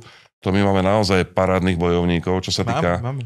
Hej, a pre mňa, pre mňa naozaj veľká čest, že som aj do tohto športu A budeme mať viac. Je to teraz tiež to má hype. Je to veľmi populárne. Je to- Sú narvaté tie Áno. posilovne. obrovský boom to má. Keker moja páni. chodí tiež, no. Super. Kickbox. Super. Toto by malo byť, že podľa mňa v normálnom, ako keby takom tom portfóliu každého človeka. Aspoň zo pár kurzov sebaobrany alebo No plus plávanie samozrejme a takéto veci pre život, hej? Áno. Lebo jedno aj druhé ti môže zachrániť život. No. Pokiaľ ovládaš. To, to sú Tak ako také... plávanie ti moc život nezachráni. Akože no, neutopíš sa, ale žralokovi neujdeš, hej, zas pozor. Dávajme si v živote reálne ciele. Nie, to musíš morské plávanie, to je iné, to, že to ideš takto. Ale tu na Slovensku čo, šťukajú, ideš, to je povedať. No, u nás v tom školstve, ak nie som expert ani odborník, ale mne je strašne chyba v tej výchove finančná gramotnosť, hej. Ježiš, to najviac. No. No, vieš, To ani neviem, čo je. Ty nevieš. Pojčený kilo. To len sme tak zabrdli aj, aj do týchto vecí, takže hovorím, že postupom času ďalšie, ďalšie športy pribúdali, vieš. Teraz som mal minule takú chuťovku, pozdravujem Tomáša z Joj športu. Uh, prosím ťa, máme majstrovstvo Európy v skákaní na švihadle. Idem. Priamy prenos. Odkomentuješ to? Ja takto. Hovorím jasne, potom som vždy túžil. Vy mi neveríte, že to viem vyhrať, chalani? Počúvate to, hej, myslel som si, že úplne iný telefon. A vieš, a takéto a mnohé podobné výzvy, ale to ťa stále drží v strehu, stále niečo nové a je, je, to, je to naozaj veľmi zaujímavé. Ako vyzerali majstrovstvá sveta skoku na švihadle? Majstrovstvo Akú Európy. malú Európy. predstavivosť musíš mať? Akú malú predstavivosť musíš mať, Gabko? Si, Ale nie, no tak si um, robíš umenie, ma. Akože skáču všetci naraz, alebo skáče jeden, potom druhý, potom tretí. Týmy.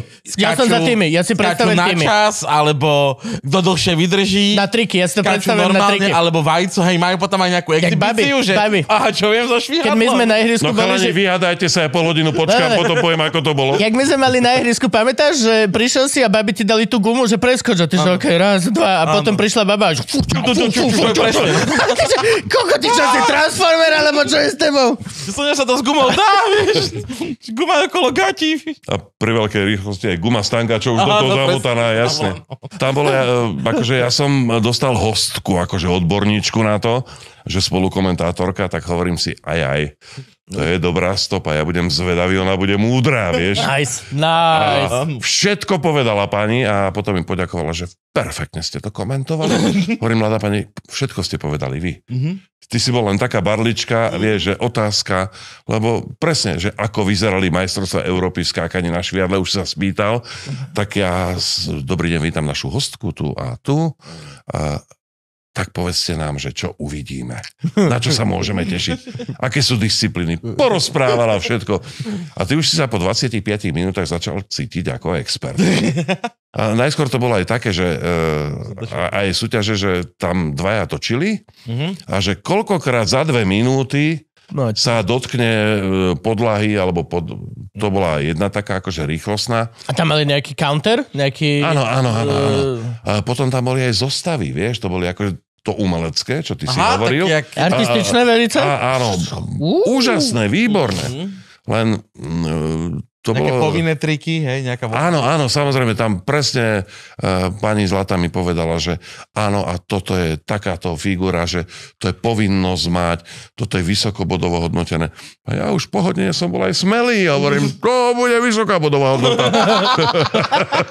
Počkáme si na výsledok, no čo hovorím. Len trošku ma zarazilo, že uh, väčšinu súťaží vyhralo Belgicko 1, druhé bolo Belgicko 2 a tretí boli Belgičania 3.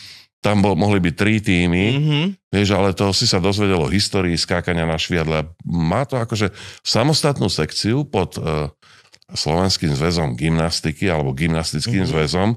A je to naozaj, naozaj vážny šport, ktorý práve v krajinách Beneluxu, že ohromné čísla aktívnych športovcov, naozaj, že tam celé školy, že tam možno máš nejakú strednú školu a z tých 250 báb 48 skáče na šviadle. Dore. Má normálne registračný preukaz, vieš všetko.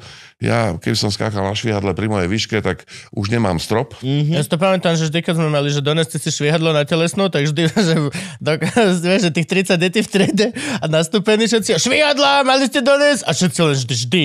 Proste že 28 hlaviček, že Marika, Marika bude mať. Marika, máš? Máš? Máš? Dobre. Máme jedno? Máme jedno? Máme jedno. Pán telocvikár. Počkaj, teraz rozmýšľam, či tá pani, čo bola so mnou, sa nevolá Marika. A to už by bola veľmi veľká zhoda náhod. Pani bola Zase to profesionálka, To mali skákala, štát. pani skákala cez švihadlo, či robila porodkyňu, alebo že... Nie, ona, ona bola, že uh, bývala aktívna pretekárka, teraz trénerka a zároveň funkcionárka. Ale ja som sa dozvedel, že na Slovensku máme 6 bášt skákania na švihadle. Ale... normálne pani, viem, že tam bol Trenčín, nejaké Košice, Bratislava, ešte ospravedlňujem sa, lebo to bolo pred pol rokom ten prenos, ale potom si povieš, že wow, vieš. A mno, mnohé športy takéto všelijaké, že človek ani netuší, samozrejme komentátor musí byť pripravený na to, čo ide komentovať. Nedá sa akože mm, chodiť z hlavy, predsa len... Variť z vody sa dá iba chvíľu Áno, o, a potom ťa prekoknú. E, musíš, musíš to mať aj trošku pripravené, aj načítané, e, dokonca aj odpozorované, možno nejaké videjka, YouTube a tak ďalej. Aspoň to je moja príprava. No ale keď som sa dozvedel, že e, skákanie na švihadle idem komentovať a že prenos bude iba 3 hodiny, hej, hovorím super, poviem zahlásenie, potom sa idem vycikať a prídem tu odhlásiť, taká bola moja predstava, nepodarilo sa, tak som si povedal, som začal googliť hovorím, to ako nemám šancu sa naučiť najbližších 5 rokov, Mhm. tak hovorím, idem s kožou na trh. Ja som jej povedal, pani, ja som čistý, ja som nepopísaná kniha. Čo mi poviete, to vo mne zostane navždy. Mhm. Ale ona bola výborná, bola To zhovorčivá, super. to bolo perfektné. Mal som aj hostia, že uh, Slovenská univerziáda, že súborné cvičenia kata, Mhm. to ty asi vieš, to je v podstate, sú tam zostavy, poviem tebe, Gabo, že uh, dve minúty cvičíš, že až, až, a Igor Debrecký, le, Hoci kde inde by si vyzeral jak sfetovaný Hej. mimo. Kebyže na ulici chodíš, ja ťa dostanem, ja, bojovníkom. Čo? Bojuje s nepriateľom? Ok, dobre, poďte sem, pane, dáme vám. No. Áno, je, je Ale- tento nepriateľ teraz s nami v miestnosti? A, a bol, bol tam pán, ktorý, ktorý bol rozhodca a organizátor a oni to majú v sebe zakorenené, že pokiaľ je súborné cvičenia kata, tak v hale hrobové ticho. Malo by byť, no. Mhm. Tam počuješ normálne aj muchu, keď lieta hlasnejšie alebo rýchlejšie, tak ju počuješ. No a hovorím tak, e, a za tie dve hodiny sme mali asi 40 kát Mhm. od komentov. Áno. Lenže pán naučený, že cez kata sa nehovorí. Ty teraz si komentátor? Hovorím, vynikajúco, skúsme si popísať prvky a on do mikrofónu začal, že ps, ps, nerušte. Hovorím, tak môžeme to aspoň využiť, povedať divákom. Ps, dve minúty počas priameho prenosu som ho ukecaval, hádzal som mu udičky, Mhm. takto, potom som tzv. komander stlačil obidve tie tlačítka, že nás počula iba réžia, ale von to nešlo. Hovorím, šéfe, nebudeme tu z dvoch hodín 140 minút mlčať. Áno. Hovorím, povedzme, porozprávajme, spravte si reklamu a takto. Že, aha. No a potom sa to rozbehlo, bolo fajn. To je také, to hovorili starí, že, že aj na tréningu, že keď sa cvičili už katy, že má byť tak ticho, že on nemusí ťa vidieť, tréner, Mhm. ale každý ten ťah Mhm. ináč ti šúcha a plieska kimono. A opasok a tieto veci. Reálne, že dobrý tréner ťa ako keby, že počul nás cvičiť všetkých naraz, my sme išli 6 chalanov to isté a reálne podľa toho Discordu, jak počul, že sem ta išli 5 opaskov robilo toto a jeden tak, tak proste, že má to byť tak, že má byť šialené ticho. Ale je to akože aj kvôli tomu, že akože je to, No, ty, ty sa nezdáš, to by som chcel vidieť, keby je sa to ist, istá forma, že meditácie ako keby. A ty si vravel, že one, že aj ping-pong sa teraz už začína zase na, na tom Jo Šport, či kde si vravel, že už si robil nejaké prenosy a že sa ešte asi aj budú robiť. Áno, ja sa z toho veľmi teším, lebo však je to moja srdcovka, ako som spomínal, tak uh, teraz pár medzištátnych zápasov išlo cez Husté TV a je teda reálny predpoklad, aj prísľub, že na jeseň už by sa stolný tenis mohol konečne vrátiť aj na obrazovky. Chlapi, medzi nami je to... Nebol? Bolo nejaký čas, kedy to nebolo až tak cool? Mm, Kedy je- si naposledy videl ping-pong v televízore? Ping-pong je druhý najmasovejší slovenský šport. Či tomu veríte alebo nie, je to tak. Čo je prvý? Futbal. Futbal? Fut, ježiš, to je štvrť... Medzi General Populus alebo medzi registrovanými hráčmi? No registrovaní hráči. Registrovaní. Mhm. No a t- teraz si zober, že dajme tomu v ping-pongu, a to vás asi trošku šoknem, máš 9 stupňov súťaží. Jednoducho existuje 9. liga. To je to ako futbal? Jasné, to je nejaká... 9., 8., 7., 6., 5. a Áno, tak ďalej. taká, že To je, to je tá, že, že keď hráš prvú, trieda. tak platíš ja tebe, Áno. ale keď hráš tú piatu, tak ty platíš, aby si mohol hrať. A je to jak futbal? Aby si mal vôbec oné. Šťavnica každý rok musí vstaviť celý štadión, aby ich pustili do nejakej ligy, či jak to máme. Počkaj, Banská šťavnica mala tiež dobrý ping-pong. Máme, máme jedno ihrisko a není do kopca vôbec. Všetci si robia srandu, že je do To je kopca. futbalové. Není do kopca vôbec, máme normálne jeden rok je kúsok zdvihnutý, lebo je tam kus kopec, ale ináč je plne rovné to. Plne.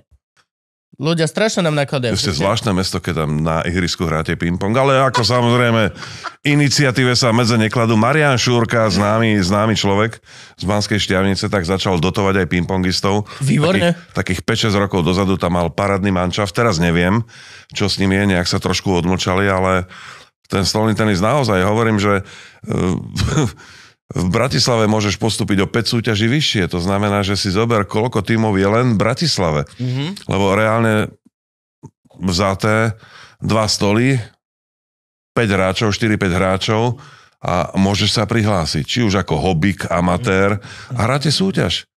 No aj lepší, lepší, najlepší, ešte lepší, hej, najsam lepší. No a v podstate naozaj stolný tenis na Slovensku má takisto veľký boom a dokonca aj tie výsledky stolných tenistov posledné obdobie robia obrovskú radosť. Lani sa slovenská reprezentácia žien dostala do štvrťfinále majstrovstiev sveta družstiev. Mm-hmm. A to keď si zober, že v každej krajine je možno 50 Číňanov, z ktorých skoro všetci už majú občianstvo, tak naše baby skončili 5. až 8. na svete. Mm-hmm. Tak toto úplne dostáva iné dimenzie. A nehovoriac o tom, že len v Číne sa vraví, že je okolo 40 miliónov aktívnych hráčov. A teraz si povedz, že si 5. až 8. Mm-hmm. Vieš to, ako to má úplne iné gule. Uh, 15-ročný Samuel Arpáš sa stal majstrom sveta kadetov do 15 rokov vo štvorhe a boli tam Aziati, celá Európa, to sú obrovské výsledky. Yang Wang, ktorý nie je z Dolnej Lehoty, ale je z Číny, tiež jeden z tých naturalizovaných Číňanov, je vo svetom rebríčku asi 38.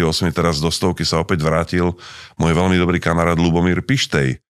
Vieš, a pri tejto konkurencii koľko desiatok miliónov stolných tenistov je na svete a ty si v prvej stovke, mm-hmm tak to, keď to porovnám, dajme tomu, e, s divokou vodou, že máme možno dva kluby, nech tých dvoch kluboch je 100 vodných slalomárov, čiže 200 spolu. Tých kanálov je na svete asi 20. Hej? No. Takže tá konkurencia tam a tam to sa nedá porovnať. My traja, keď si zo, zoberieme, kúpime, ja to volám, že plťku, a zoberieme pána kameramana a že ideme na divokú vodu, tak my, my sme v tú chvíľu členmi širšej nominácie reprezentačného týmu. Áno, u, u, u nás je tak málo, rozumieš? Chápem, prečo Miro Kaspřík to tak ľúbi. rovno nastúpiš, rovno dobrý. Ty by, ty by si bol na špici, aby sme nadľahčili predok, my dva, aby sme boli no. úplne vzadu. A teraz si zober, že veď, e, čo to v podstate je, však sadneš a ideš dolu vodou, vieš. Jednoznačne, presne, tak to predstavujem. Čo to je za šport, vieš? Presne tak to predstavujem. Ale, ale nie, nie tí najlepší, samozrejme klobúk dole, máme z toho obrovský počet medailí, ale je to aj tá akože bonita medailí, že... Áno, áno. Vieš, e, Sagan sedemkrát zelený dres na Tour de France. Koľko ľudí bicykluje na svete? Mm-hmm. To je podľa mňa, to, to je obrovský, to je taký úspech, ktorý... Na nešťastie každý kuriér. Uh, my, my sme nedocenili to, čo Peťo Sagan dokázal. Áno. Trikrát majster sveta. Halo páni. Hm? To je, to je volačo neuveriteľné. Samozrejme, z, sme majstri sveta v kosení trávy, vo varení brinzových halušiek a tak ďalej a tak ďalej. Kopanie hrobov. Kopanie hrobov. Kopanie hrobov.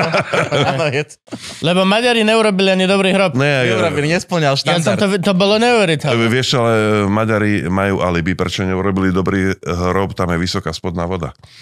Ja, to, ja, ja, ja v tom Dunakility mám, oni majú, mám spodnú, oni spodnú, majú inú normu. Spodnú vodu mám 6 metrov pod povrchom pozemku, rozumieš? Ja keby som staval pivnicu, tak môžem vyplávať Budapešti. No ale za studne môžeš mať 4. môžeš mať bazén vlastne napájaný. A nevolá sa to studne, volá sa to, že len som zakopal som. Á, minerálka. Takže vracia sa normálne, ja som nevedel, že Husté TV ešte existuje. No, fú. Ja som, tam kedy si boli stand-upy. Ja keď si pamätám, ja keď som začínal v silných rečiach, tak normálne Husté TV chodil jeden kameraman a natáčal prvé stand-upy ešte v New Spirite starom a chodili na Husté TV. Mojich prvých 5 videí bolo normálne na Hustom. A odtedy ľudia chodia po Slovensku, že nemám ináč, ten stand-up ináč tam. Ináč, ináč, vďaka týmto piatým videám. Veľká vďaka tomu Husté TV, lebo tam sa dostanú aj bežné ligové športy hm? a hádzaná aj futbal, nižšie súťaže, neviem čo.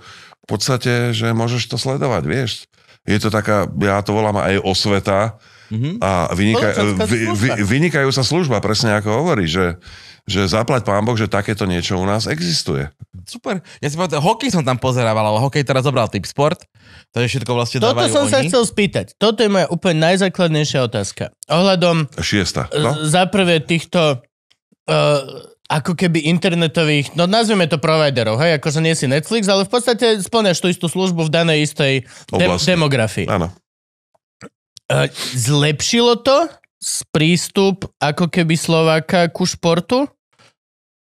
Všeobecné. Z, všetko husté TV, aj tieto, dajme tomu, neviem, kde to ešte chodí. Voja, Digi TV, podľa mňa absolútne.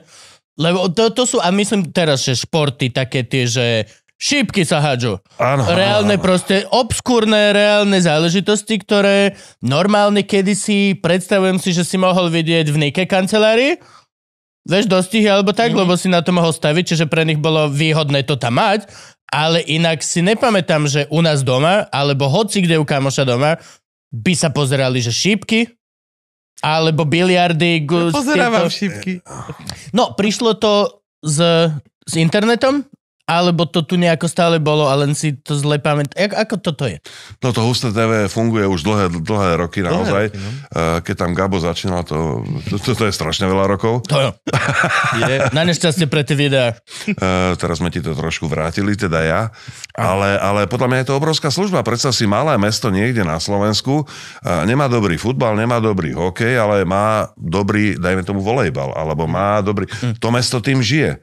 Ja z toho partizánskeho tam bola fantastická ženská hádzaná, ktorá na obrazovky sa dostala, dajme tomu ešte začiat komunizmu, len vtedy, keď e, partizánske vyhralo pohár víťazov pohárov v rámci Európy, hej. E, To vtedy bolo aj v televízii, ale ináč nie. A teraz tieto ligové súťaže bežne aj v tom malom meste, vieš, to po- posilňuje aj to poznanie o tom športe, aj to, aj to fanušikovstvo v tom klube. A ľudia to sledujú. A ľudia to sledujú, samozrejme, ako klobúk dole pred tým, že takéto niečo existuje. A už, e, dajme tomu, mnohé športové zväzy majú podmienku, dobre postupili ste do ligy alebo do druhej ligy, tak musíte mať z každého zápasu online vysielanie na internete. Mhm. A to je napríklad fantázia. Ja práve som spomínal Luba Pišteja pred malou chvíľou. Uh, teraz bol v Amáne na turnaji uh, World Tour a on dokázal postúpiť do semifinále, keď vyradil dvoch Číňanov a jedného skvelého Nemca. Ja som si v obývačke naladil ten kanál, bolo to predvčerom, mám taký pocit, keď hral semifinále s ďalším Číňanom a 10.30 som si pozrel ten zápas takto ako, ako keby som pozeral tu a v špičkovej kvalite.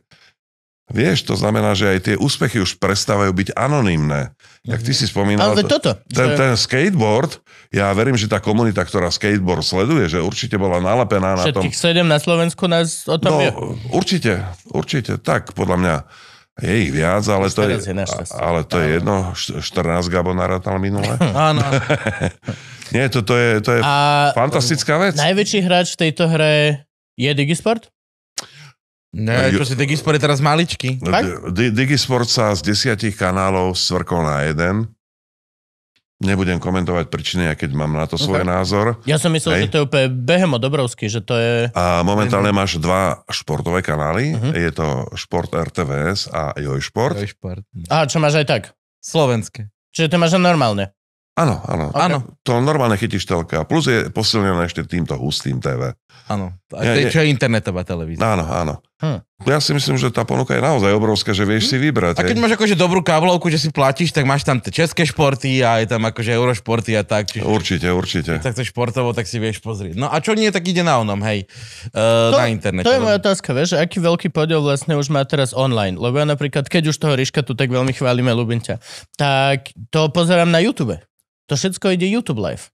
Ale To je samozrejme, normálne- To je mega. To je všetky tieto zahraničné Ale- americké, či ale SLS, alebo samozrejme že, že máš uh, svoj kanál na YouTube. alebo majú ešte potom, že presne vlastného providera, pozri si to na www. Áno, áno. súťaž.internet.com Ale to, A e, že aká veľký podiel vlastne momentálne má na tomto trhu ešte tá v podstate e, konformná stará záležitosť, nejdem hovoriť, že stará, ale v podstate OG, ten televízor a koľko z toho už máš normálne www.hocičo.com lomeno provider. Uh, ťažko mi percenta, nie som na to odborník, ale určite na toto existuje odpoveď. hej, ale je bežné, že uh, máš svoj kanál, ideš niečo vysielať, oznámiš to prostredníctvom sociálnych sietí a je tam potom aj merateľnosť samozrejme, že koľko ľudí to videlo a oh, ďakujem ti, krásna vila. Ho, ho, ho. Frank, ďakujeme ti spoločne. ešte raz, Frank, ďakujem. Už si odpajkoval ten môj? you are amazing, boy. A ja, ja to len vítam ako športový komentátor, naozaj to vítam, lebo to, čo ma zaujíma, viem si pozrieť online. Mhm. Niekde to je samozrejme platené, niekde nie. A tie platené takisto občas nie som lakomý a to, čo ma zaujíma, si pozriem. Ale je to skvelé. Tiež s týmto nemám problém, či zaplatiť si a pozrieť si, ale som to tiež párkrát spomínal, že mňa napríklad hnevá ten typ sport, hej? Že tam e, je väčšina hokeja, väčšina futbalu, veľ, veľa tenisu a všetkého, ale môžeš to pozerať len tak, že stavkuješ. No to som sa ešte spýtať, však Nevieš si to zaplatiť. Sú stavkovacia kancelária, to není televízor. Nie veľa, ty musíš staviť za nejaké euro 20 mesačne, aby ti to sprístupnilo vlastne celý ten... Vidíš, toto ten je, pre mňa, toto je pre mňa novinka, hej? No a to už je dlho. To už asi 3 roky, lebo ja sledujem je Extraligu. Slovenskú hokejovú a čo nedávajú v telke, napríklad no sledujem teraz, že Slovan a Poprad. Hej, Poprad, lebo som Tatranec a keď už som v Bratislave, už mám permanentku, chodím na Slovan na hokej. Keď sa nedá pozerať, pozerám v telke alebo na typ sporte. Je to veľmi vy- krásny sú, súboj medzi patriotizmom a lakomosťou. Ale- Normálne každý deň to takto vidíme, jak sa to... Daniel, Daniel, a veľmi- ideš. Máš, vidíš normálne ľudí, že, ideš, že máš záber a všetci, že poprad a potom máš záber a tam, že Bratislava a potom máš záber a Gabonek v strede, že ja neviem! Ináč, ja som slovanista, keď si to spomenul. HC Slovan, lebo tam som robil aj 8 rokov hlasateľa na štadióne. A takisto aj na Eška Slovan som robil 8 rokov hlasateľa na štadióne. Takže od malička fandím Slovanu a toto bol jeden z takých mojich snov, že byť členom jedného aj druhého, mm-hmm. to sa mi na, akože chvála Bohu podarilo, za čo som vďačný a je to úžasné, keď 11 tisíc ľudí v hľadisku počúva toho hlasateľa a reaguje. Áno. Je, to je veľká show. Gól dal číslo 40. Čas 58-56. Gól! Slovana Bratislava. Strelil hráč číslo 81 Miroslav! A 11 tisíc ľudí ti povie Lažo! A vieš, a stav stretnutia Slovan 4, Košice Nula! nie. Nie, dva. Nie, vždy povedali Košice a namiesto uh, číslovky povedali príslovkové určenie miesta. Poviem to spisovne do vagíny. Hej, a potom, že žiadame divákov, aby pri hlásení skóre používali číslovky a nie príslovkové určenie miesta. Ďakujem pekne. A tam sa dali robiť aj rôzne také akože joky s divákmi. Filip Šebo, futbalista, keď hrával za Slovan, stále chodil na hokej a on ti mal takéto mini autičko no a vždy som ho tam videl, presne viem, kde mal permanentku a hovorím chalanom do režie, tí, čo snímali na tú kocku, že chlapci, prosím vás pekne, nájdite Filipa Šeba a keď dokončím teraz vetu, tak začnite ho snímať. Videl som, že Filip zaparkoval, išiel som okolo, som si odpísal ešpezetku. Žiadame diváka Mini Cupra so štátnou poznávacou značkou BA362XY, aby prišiel preparkovať, stojíte nad kanálom a pracovník vodárny chce ísť domov. Obrovský rehot, kamera na Filipa, Filip sa postavil, kúka jak Slovak do metra A v hlave iba, dobre, a za všeobecného rehotu odchádza. Za minútu a pol ti prišla SMS-ka, zabijem ťa. A hovorím, Filipka, ja ťa mám rád. Za 500 eur musím vymeniť SPZ, aby ma nejaký uchylak nevystopoval teraz. Ďakujem ti veľmi pekne. Vieš, a hovorím, to, to bolo úžasné, ja som sa bavil s tým, to, mňa to veľmi aj bavilo, Mhm. takto akože komunikovať s divákmi a ten divák uh, už keď príde v dnešnej dobe na ten štadión, tak podľa mňa uh, môj skromný názor, že očakáva aj nejakú nadstavu. No Nie len, nie len hlásenie skoro, jak odchody vlakov, hej, Mhm. O, osobný vlak do Spišskej Novej Vsi príde na kolej štvrtú, dávajte pozor. Vieš, a tá, ten kontakt s tým divákom, alebo na futbale si pamätám Slovan Sparta. Mhm. Keď tam bolo, sa strhla bitka, chceli to prerušiť, bol to európsky pohár, vieš. A ty potom vidíš na plochu ako hlásateľ a bola nejaká 43. minúta. Dámy a páni, podľa výroku delegáta UEFA a hlavného rozhodcu zápas a smutne to hovoríš. Slován Bratislava. Sparta Praha. Dramatická pauza. bude pokračovať. To si mal vidieť ten aplauz, vieš. Toto hovorím, to, to trošku hranie s tými divákmi, to je... Ono toto siaha do histrionstva. Reálne proste ešte fakt stará, stará, krásna, toto je extrémne staré. Reálne, že v Koloseu Áno, bol áno. človek, áno, čo bol naratoroval, že reálne, čo už môže byť zaujímavé, že dvaja ľudia sa, že bodajú na smrť. Kresťanov žerie lev. To proste, BBC, BBC má dokument, kde není, že 10 minút není slovo. si- Ale tam bol typek, ktorý to ešte predával, lebo ľuďom bolo, reálne proste to je... Počkaj, to nebola kulinárska show Gordon Ramsay, ale niečo... Pol na pol, to bolo pol na Ale pol. to si predstav, že, Ale- že by tak zháňali toho, jak, jak teba bol, že či nemáš nejakého odborníka na tenis, lebo ide tenis, že počuj, nemáme niekoho na levy? Že už toho neboli levy. Volajte Galixa. Poznáš trošku nových kresťanov? Vieš mená? Hej, trošku z tej histórie teraz tam ten nejaký tam, tých sandáloch tam nasledovali, vieš, na čo to? A Pavol uteká, uteká, uteká, dobre Pavol. Ale akože je to, je to extrémne stará tradícia, ktorá hrá na veľmi už uh, biologicky alebo evolučne, uh, ako keby, uh, alebo tak spoločensky, už vychodené neurologické spojenia. Ty uh, vieš presne, ako to funguje, vieš, že to proste... Jasne, je to jasne. komfortné. Aj, aj pre tých ľudí je to šialené komfortné, proste celý ten DAO. Je to, hej, je to veľmi krásne, to je original crowdwork, Gabo. No Pre nás hlavne je to show sveta. celé, vieš, aj ten, aj ten šport, aj všetko, je to, je to jedna veľká show, Ale tí to, ľudia že sa ten tam chodia zabaviť musíš ty stavkovať, aby si mohol To je pozerať, je nechutné. Je to strašné Urobte vedľa svinstvo. typ sport, urobte iba gombík, že nechcem stavkovať, ale chcem vám zaplatiť. Ale- ale s tou istou sumou. S tou istou sumou, len aby napríklad niekto mohol povedať žene, že v živote som nestavkoval. No a to je presne, že to tam musíš vyhlásiť, strašne toho veľa musíš vyplniť, musíš tam postať občiansky z oboch strán, že máš 18. No a toto je to zaregistrovať tam svoju kartu Sedí na natrvalo. rande Gabo a baba sa ho pýta a stavkuješ a Gabo bude musieť povedať vlastne hej. Musím dať euro mesa, aby som mohol a ona že ne, ne, ne, ne, ne, ne, ne, ne, ne, neverím ti ani hovno kamarát.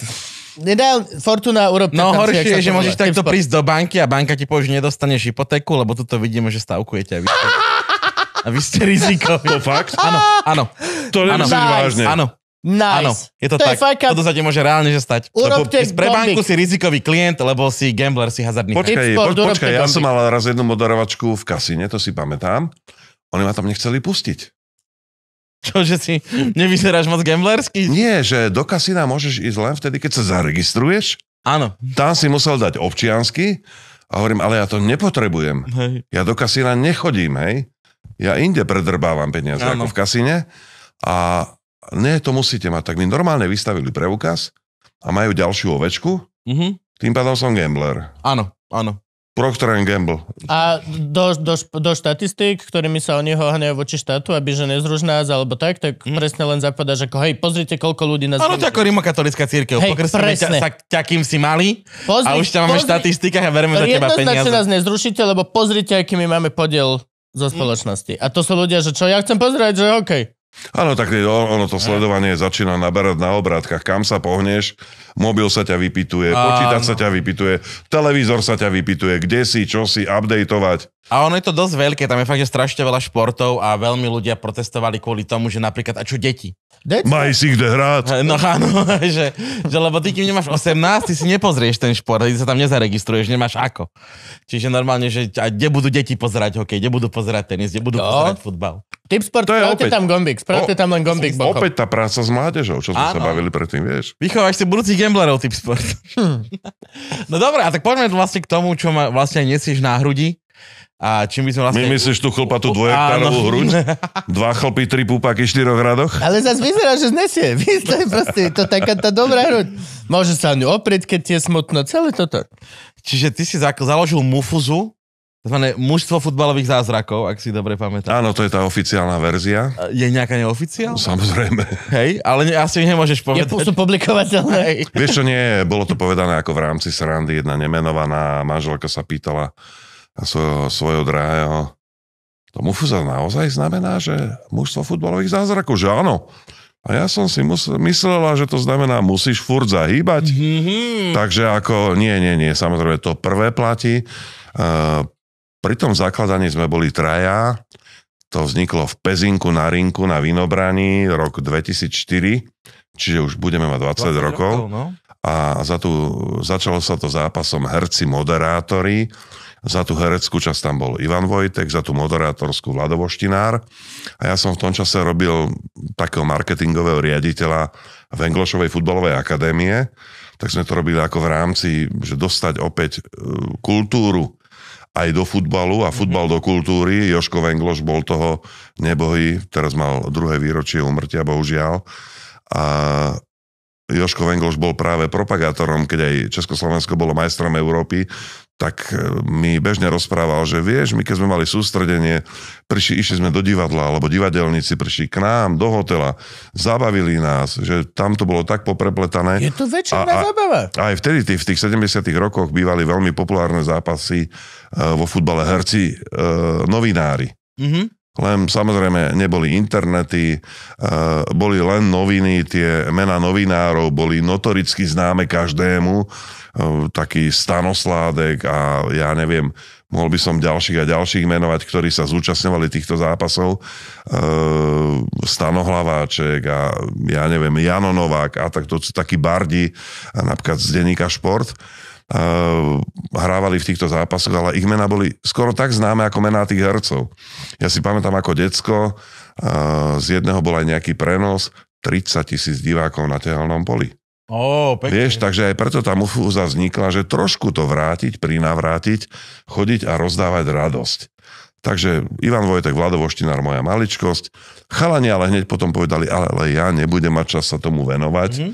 My sme odohrali ten zápas, herci, moderátori v Pezinku, tam ti prišlo asi 2000 ľudí, be, bez žiadnej reklamy. Mhm. No a potom bolo nejaké také posedenie a hovorím, že priatelia, ja vám ďakujem. No a po tomto zápase sa obidva tieto týmy spoja a vzniká mužstvo futbalových zázrakov, čiže Mufuza.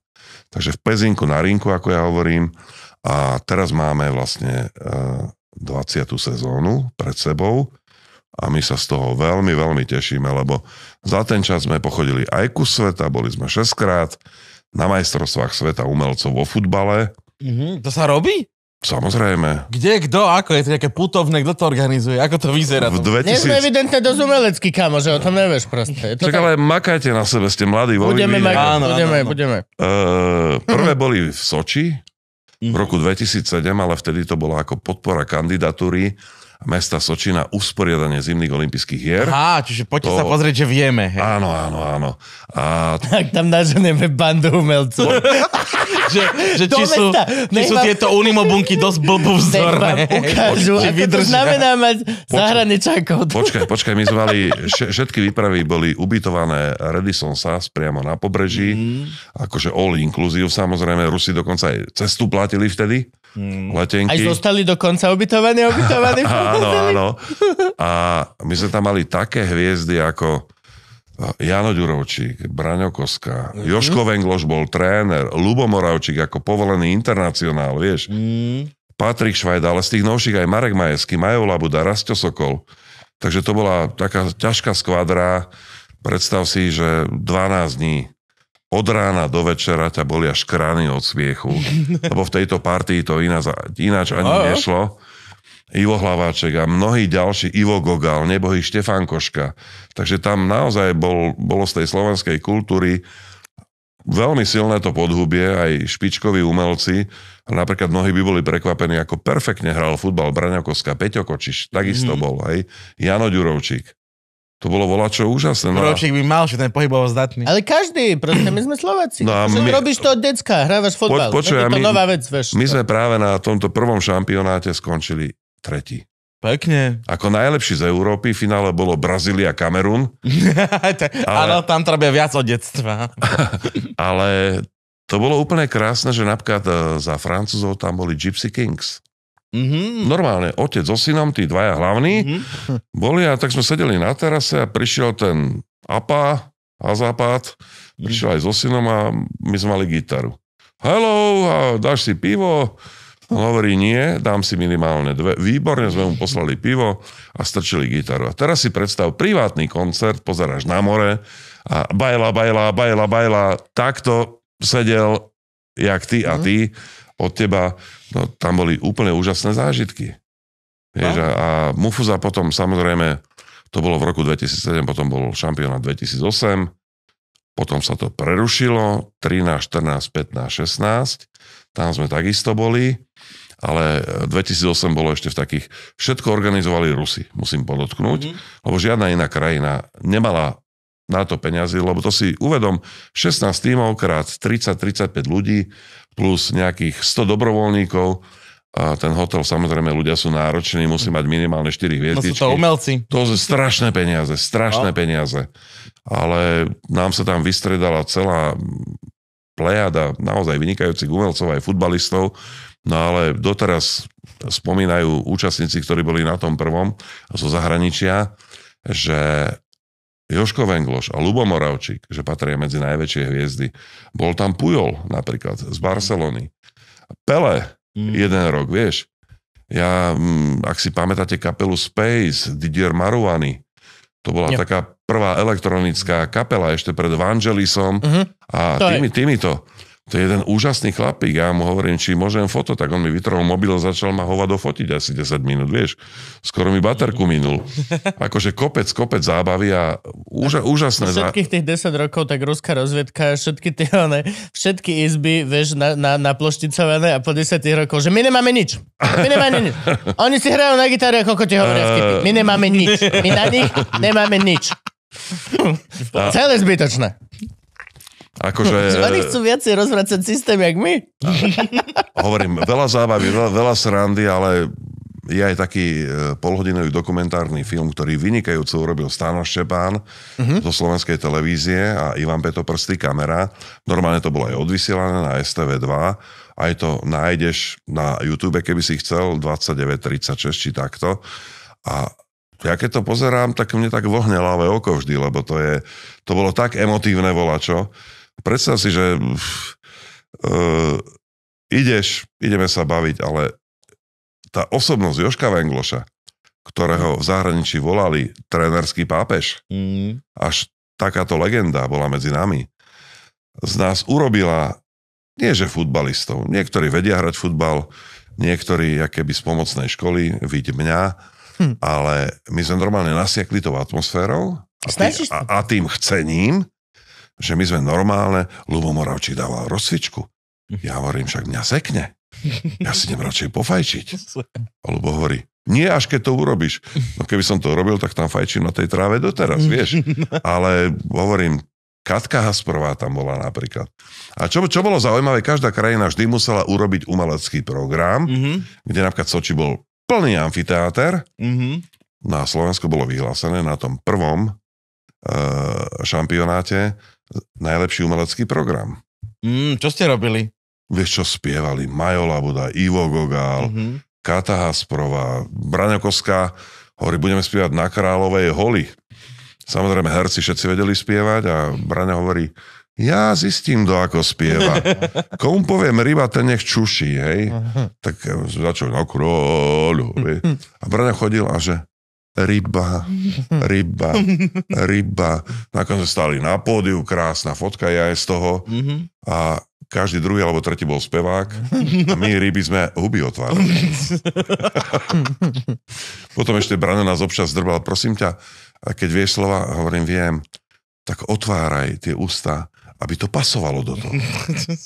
Vieš, to bolo až, až, tak, až tak detailne. Uh, režiu mal vtedy mravec, to si pamätám. No, no ale, ale malo to gule.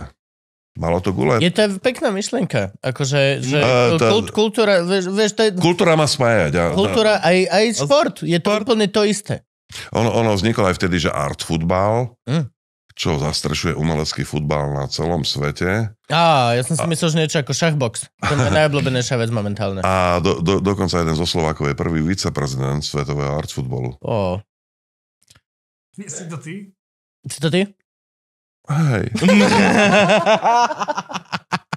Ale ja, ja si myslím, že aj, aj, že, že, že aj toto je trošku ocenenie, že Mufuza vždy bola akože korektná v rámci pravidel, lebo ono, samozrejme, Rumúni hneď druhý šampionát, tam nejakých 8 prezlečených futbalistov, povedali, že to je DJ, to je tento, Veď to, je tento. to ma napadlo, Vieš. keď pri tom, že Brazília Caracas, či čo to bolo? Hej, No. Tak to ma presne napadlo, že koľko z nich, ko- koľko z nich, hej. Že do- nemus, nemusí veľkú súťaž, tam aj tak... na týždeň dostal kšet proste, jo, jo, jo. No a my, sme- my sme akože Mufuza bola čistá. Ja si pamätám, že prvý šampionát som mal dve igelitky, že dôkazov, že umelci. Napríklad Korejci pri... ne, tam boli CDčka, tam boli filmy, tam bolo ja, VHSky, jak sme tu spomínali, DVDčka, neviem čo. Korejci donesli jednu fotku, že my sme modeli, ne? Tak samozrejme sme s, nimi prehrali v základnej skupine 3-0, tak sme dali protest. Mhm. Ale to bol práve obrovský prúser, lebo Soči bojovalo o usporiadanie zimných olympijských hier práve s Pyongyangom. Mhm. Čiže Korea, Rusko. A my sme dali protest, vieš, a to, to bol... Asi, asi viem, komu dali za pravdu. Nám, Nám. Náhodou. nám, vieš. Ale tam sme bojovali Je to super, toto je veľmi krásne. a, a som sedel pred tým, pred tou žúri a hovorím, ja som takto rozhadoval už tie CDčka, fotky, že 5 pív v sebe, 3 vodky, ne? Ako hovorím, Aj slovenské a, a, umenie. aby som bol argumentačne silný, nie? A Korejka, Korejka furt hovorila, že oni sú modely, oni sú manekíni. A Lubo Moravčík hovoril, tá desina, čo nám dala dva góly, tu keď zoberiem na Slovensko, každý lígový klub ho kúpi, rozumieš? Mhm. Umelec, národný. Hej, Je- manekín. No, Čo to je a- za umenie? A, ale potom, nie, potom niektorí akože e, začali trošku šáliť, tak sa začali robiť dosť prísne kontroly a mám Mhm. taký pocit, že sa to dostalo aj trošku do normálnych kolají, lebo ako napríklad hovorí majstro Čálik, ja nepotrebujem vidieť e, nejaké filmy, ktorých on všakže hrá. Mm. Mne stačí vidieť, ako chodí. Hej, no. Ty ako vyštudovaný herec mi asi dáš za pravdu, že pre, presne tá javisková chôdza je trošku iná ako tá normálna. Ako tá futbalová. Uvedomuješ si to. Ako herec si, že uvedomuješ, že ako chodíš. Lebo ti hovorili, že mm, Hamlet chodil inak ako tento. Proste začínaj od chôdze. Alebo tak. A je napríklad veľmi známa veta, ježiš, pýtali sa to, typek americký hral toho mafiána. Uh, To nepoznám, jeho sestru poznám. Motor. no, Jak sa volal. Tak jeho sa pýtali, že, že brutálne, že zamyslení ste boli, že v tej scéne. Marlon Brando. Áno, že brutálne ste boli zamyslení, že, že jak sa vám to podarilo, typek, že dal som si do topánok kamienok. a celý čas len sedel a šral ho ten kamienok na topánke. A že geniálne, geniálne. To proste... Čiže áno, hej, proste všímaš si A to. ešte mrvil prstami a hovoril si a Rolling Stone. Proste, hej, je to, že normálna vec, ktorú si všímaš. Ale tak určite to akože... Ale pri modeloch konkrétne, hej, by si si všimol, že chodia asi trošku profesionálnejšie. Riťky hore. Jo, aj celé, všetko držíš to proste. no, no, no, jasne, je- si model. Inak- Javiskovú chôdzu. Inak si. Mo, po, mod, jak sa to volá? Mólovú chôdzu Vie, vlastne. vieš, a to na, naozaj bola vtedy veľká sláva. Ako to, to aj ľudia, ktorí v tom umení dosiahli veľké méty, tak povedali, že životný zážitok. Mm. A kde sa dá, dáte vidieť tak normálne, keď, keď nie ste na majstrovstvách sveta? Kde sa dajú vidieť nejaké zápasy? Mufuz? Vieš čo, Mufuza, my sme asi 14 rokov chodili hrávať len zápasy. Mňa ale strašne štvalo, že keď prišla Mufuza, tak samozrejme odohrali sme zápas, ináč tých 13-14 rokov všetky peniaze, ktoré štartovné, zarobili, chodili na nadáciu Joška Vengloša futbal mládeži, Mm-hmm. na podporu mládežnického futbalu. No a my sme hrávali futbal a vždy, samozrejme, šniclak, hajzlové dekle, majonézový šalát do kýbla a pívko, koľko vypiješ, ako po zápase a potom tam pustili nejakú miestnu kultúru, alebo aj kultúru takú, že známi umelci. Mm-hmm. A ja si hovorím, preboha, však ja tu mám 10 lepších spevákov ako to, čo vidím na pódiu. Mm-hmm. Ja tu mám 10 vtipnejších ľudí ako ten, čo to moderuje. A už sú tu. Ja tu mám 6 Mhm. lepších moderátorov ako ten, čo Najväčší je tam problém je momentálne. vyriešený. Už sú Už tu. sú tu, Už hej. sú tu. To je najväčší problém. Z, z, zvuk, je, zvuk je katastrofa, to vieme zabezpečiť. A tak vznikla myšlienka, že urobíme deň s mufuzou. Mm-hmm. Čo je vlastne pojazdný festival, obce, ktoré majú výročie, futbalové kluby majú výročie, máš trh, jarmok, ja neviem čo, alebo firma Mhm. sa chce odmeniť, aj mali sme aj firemné akcie, chceli sa odmeniť zamestnancom a šéf mi povedal, dám každému 50 eur po stromček, alebo im dám mufuzu. A všetci, že mufuzu. Mm-hmm. A proste ten program začína príklad od jednej je tam detské divadielko, je tam šašobimbo, je tam kúzelník, to je tak do tretej. Potom ide futbalový zápas, Mufuza versus domáci starí páni alebo zamestnanci firmy. Ale to nie je futbalový zápas, aký poznáme z televízií. To je... To bude krvilečné podľa To je- Je to krvilečné? Hráme aj futbal trošku, aby sa starí páni neurazili, ale hlavne druhý polčas to už aj tí, čo nevedia chodiť, Rastio Piško tam behá, rozumieš, Pálo Topolský a ta, takíto vyslovení držíči vybe, vybehnú na ihrisko, klobúk dole pred nimi v ich rokoch, že vôbec sa dajú na takéto niečo nahovoriť.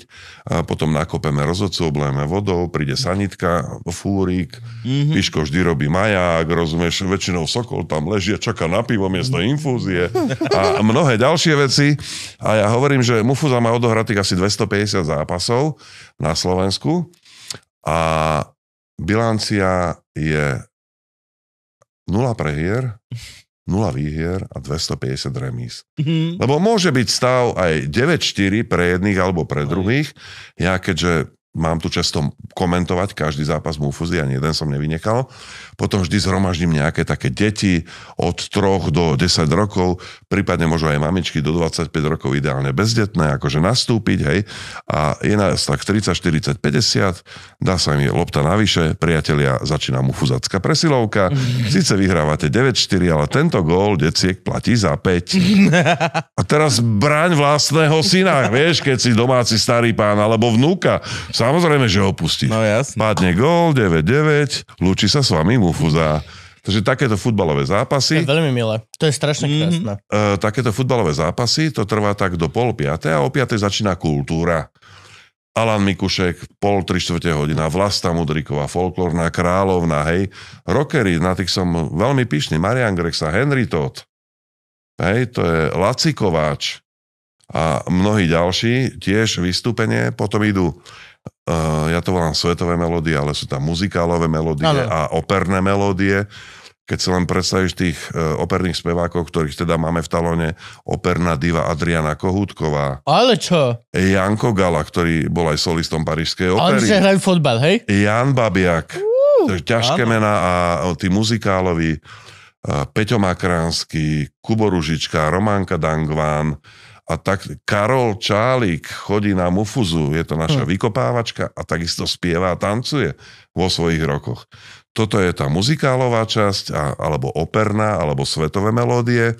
Potom nasleduje vtipnejší vyhráva, tam je obrovský pretlak ľudí, 5-6 ľudí rozpráva vtipy za prítomnosti moderátora, ide zhruba 5 kôl, po každom kole jeden z tých, čo rozpráva vtip, získa fľašu šampanské, ktorú nonšalantne odovzdá tomu, k tomu najviac fandí, čiže trošku aj diváci sú do toho Jasnačka. interaktívne zapojení. A po každom kole ide aj kultúrna vložka, viac kultúrna ako vložka, Rastio Piško nejaké tie imitácie, Zuzka Vačková, alebo skvelá rockerka Peťa Kepeňová, majster sveta kulturistike Luboš Maliňák, Majo Labuda, ináč Majo nádherne spieva tie Armstrong. Áno, viem, viem, ja som teraz v To- Kremnici na gegoch To je, počúval. to je volačo neskutočné. Takže Mali to sme ho v Luživčaku. Minulo sme ho zdržali, iba 3 hodiny meškal na skúšku s kapelou. Do... Áno, takže e, aj, aj, aj ten tzv. vtipák, že má svoju kvalitu a vtipy rozprávajú Pálko Topolský, Rastio Sokol, Igor Pigy Krempasky, známy e, z 2,5 chlapa, Áno, doktor áno. Ellen Harper, hej, e, Rastio Piško, Majo Labuda, Maťo Mňa Hončák. Po, potom, to, potom to ide nejaký, mm, dá sa povedať, ale to už máme pol deviatej, hej, Mhm. začali sme o jednej, to už máme nejaké 8 alebo, alebo pol deviatej, potom ide kapela, buď Tomáš Bezdeda, alebo Samo Tomeček, Mhm. prípadne kapela Bižuterier, Mhm. prípadne Mirka Partlová so skupinou. Mhm. A teraz už som dohodnutý aj so skupinou Karpina napríklad, že Ó, no jasne. a, a na záver chodí e, DJ Suvereno, ktorý má neuveriteľný kontakt s publikom, obrovskú charizmu, tento všetko roztancuje. Tá jeho skladba Nech sa ti darí, nech si šťastný, nech nemáš nepriateľov je takou e, ne, neoficiálnou hymnou Mu- Mufuzy. No a máme čas zhruba 22.00 alebo 22.15, všetko je rozbláznené, všetko je roztancované a vtedy nastupuje najlepší slovenský oldies DJ Robo Majling. Bol v deviatich rádiách a ten pán vie zábavu urobiť jo. takú, že dovidenia. A celý tento deň s Mufuzou končí tak o druhej, o tretej. A, noci. a stále je tam viac ako tisíc ľudí. Tieto akcie majú návštevnosť od 3 do 7 tisíc ľudí. To znamená, že na ktorý futbalový klub príde takáto návšteva. Pravda. Je, je, je to podelené tak, jak si trefne poznamenal, že e, celý ten program je koncipovaný tak, aby si tam každý To je, to je brutál. niečo našiel. To je... Či prídu mamičke s deťmi, hej? Či prídu starí fotorovci sa pozrieť na svojich rovesníkov, trošku sa im vysmiať. A zvyčajne to kluby alebo obce využívajú na to, že v prestávke polčasu uh, je tam nejaké odmeňovanie týchto zaslúžilých futbalistov, dávajú im plakety. A má to úplne inú váhu, ako keď taký, ja neviem, Marek Majecký alebo Ivan Vojtek alebo niekto ďalší ešte zagratuluje aj v rámci Mufuzy. Ako keď normálne slon ideš na mestský úrad vyzdvihnúť niečo. Áno, áno. Gratulujeme vám. Súdrovi Žinčicovi. A to sa dá nejak objednať, alebo vy si vyberáte, kam s tým chodíte? Eh, alebo... Za, zaplať pán Boh, zaplať pán Boh záujem o tieto akcie je veľký, lebo Mhm. uh, keď si tak predstaví, že dedinka v údolí chce niečo takéto urobiť a teraz majú oni zoháňať jedného umelca, druhého umelca, tretieho, Mhm, mm-hmm, pospájať to dramaturgicky. Všetko plus, nemajú pódium, nemajú ozvučenie. My doneseme vlastné pódium, doneseme vlastný zvuk, ozvučíme samozrejme aj futbalové ihrisko, máme svoje vlastné svetlá, To je jednoducho. paráda. Stačí zavolať na stránke Mufuza, oficiálna stránka je číslo na jedného pána, takže keď mi zavoláte, ja vám potom A porozprávam. normálne to, ale akože treba to zaplatiť celé, hej? Že nerobíte to ako charitu, normálne viac. musíte Vie- Vieš čo, obec samozrejme, zaplatiť. samozrejme, treba to zaplatiť, ale uh, tá suma, ja som to aj počítal, keby si si každého z tých účinkujúcich objednal Mhm. mm-hmm. osve v deň D hodinu H na to miesto, aby si zhromaždil túto haldu ľudí, tak, Mhm. te, tak ťa to vyjde minimálne dvakrát viac, ako keď to je v rámci balíka. Výborne, super. A to znamená, že aj tí ľudia, lebo tých akcií je dosť, 8 až 10 ročne, aj tí ľudia, verím tomu, že radi chodia na Mufuzu, že to neberú len ako zárobkovú činnosť a som o tom presvedčený, lebo sme aj pár sezón po zaniku Venglošovej futbalovej akadémie a tej nadácie Joška Vengloša, to sa potom pretransformovalo na dnešnú Artmediu, bývalú Artmediu, ale FC Petržalka. My sme chodili aj zadarmo, len tak, že prídeme, zaplatia autobus, prídeme, hej. A tí ľudia chodili. Hej, to sa dá všetko objednať, ale hovorím, že takýto balík, keď máš zostaviť, tak myslím si, že tí umelci stoja za to. Mnohí sú absolútna špička v tom, čo robia.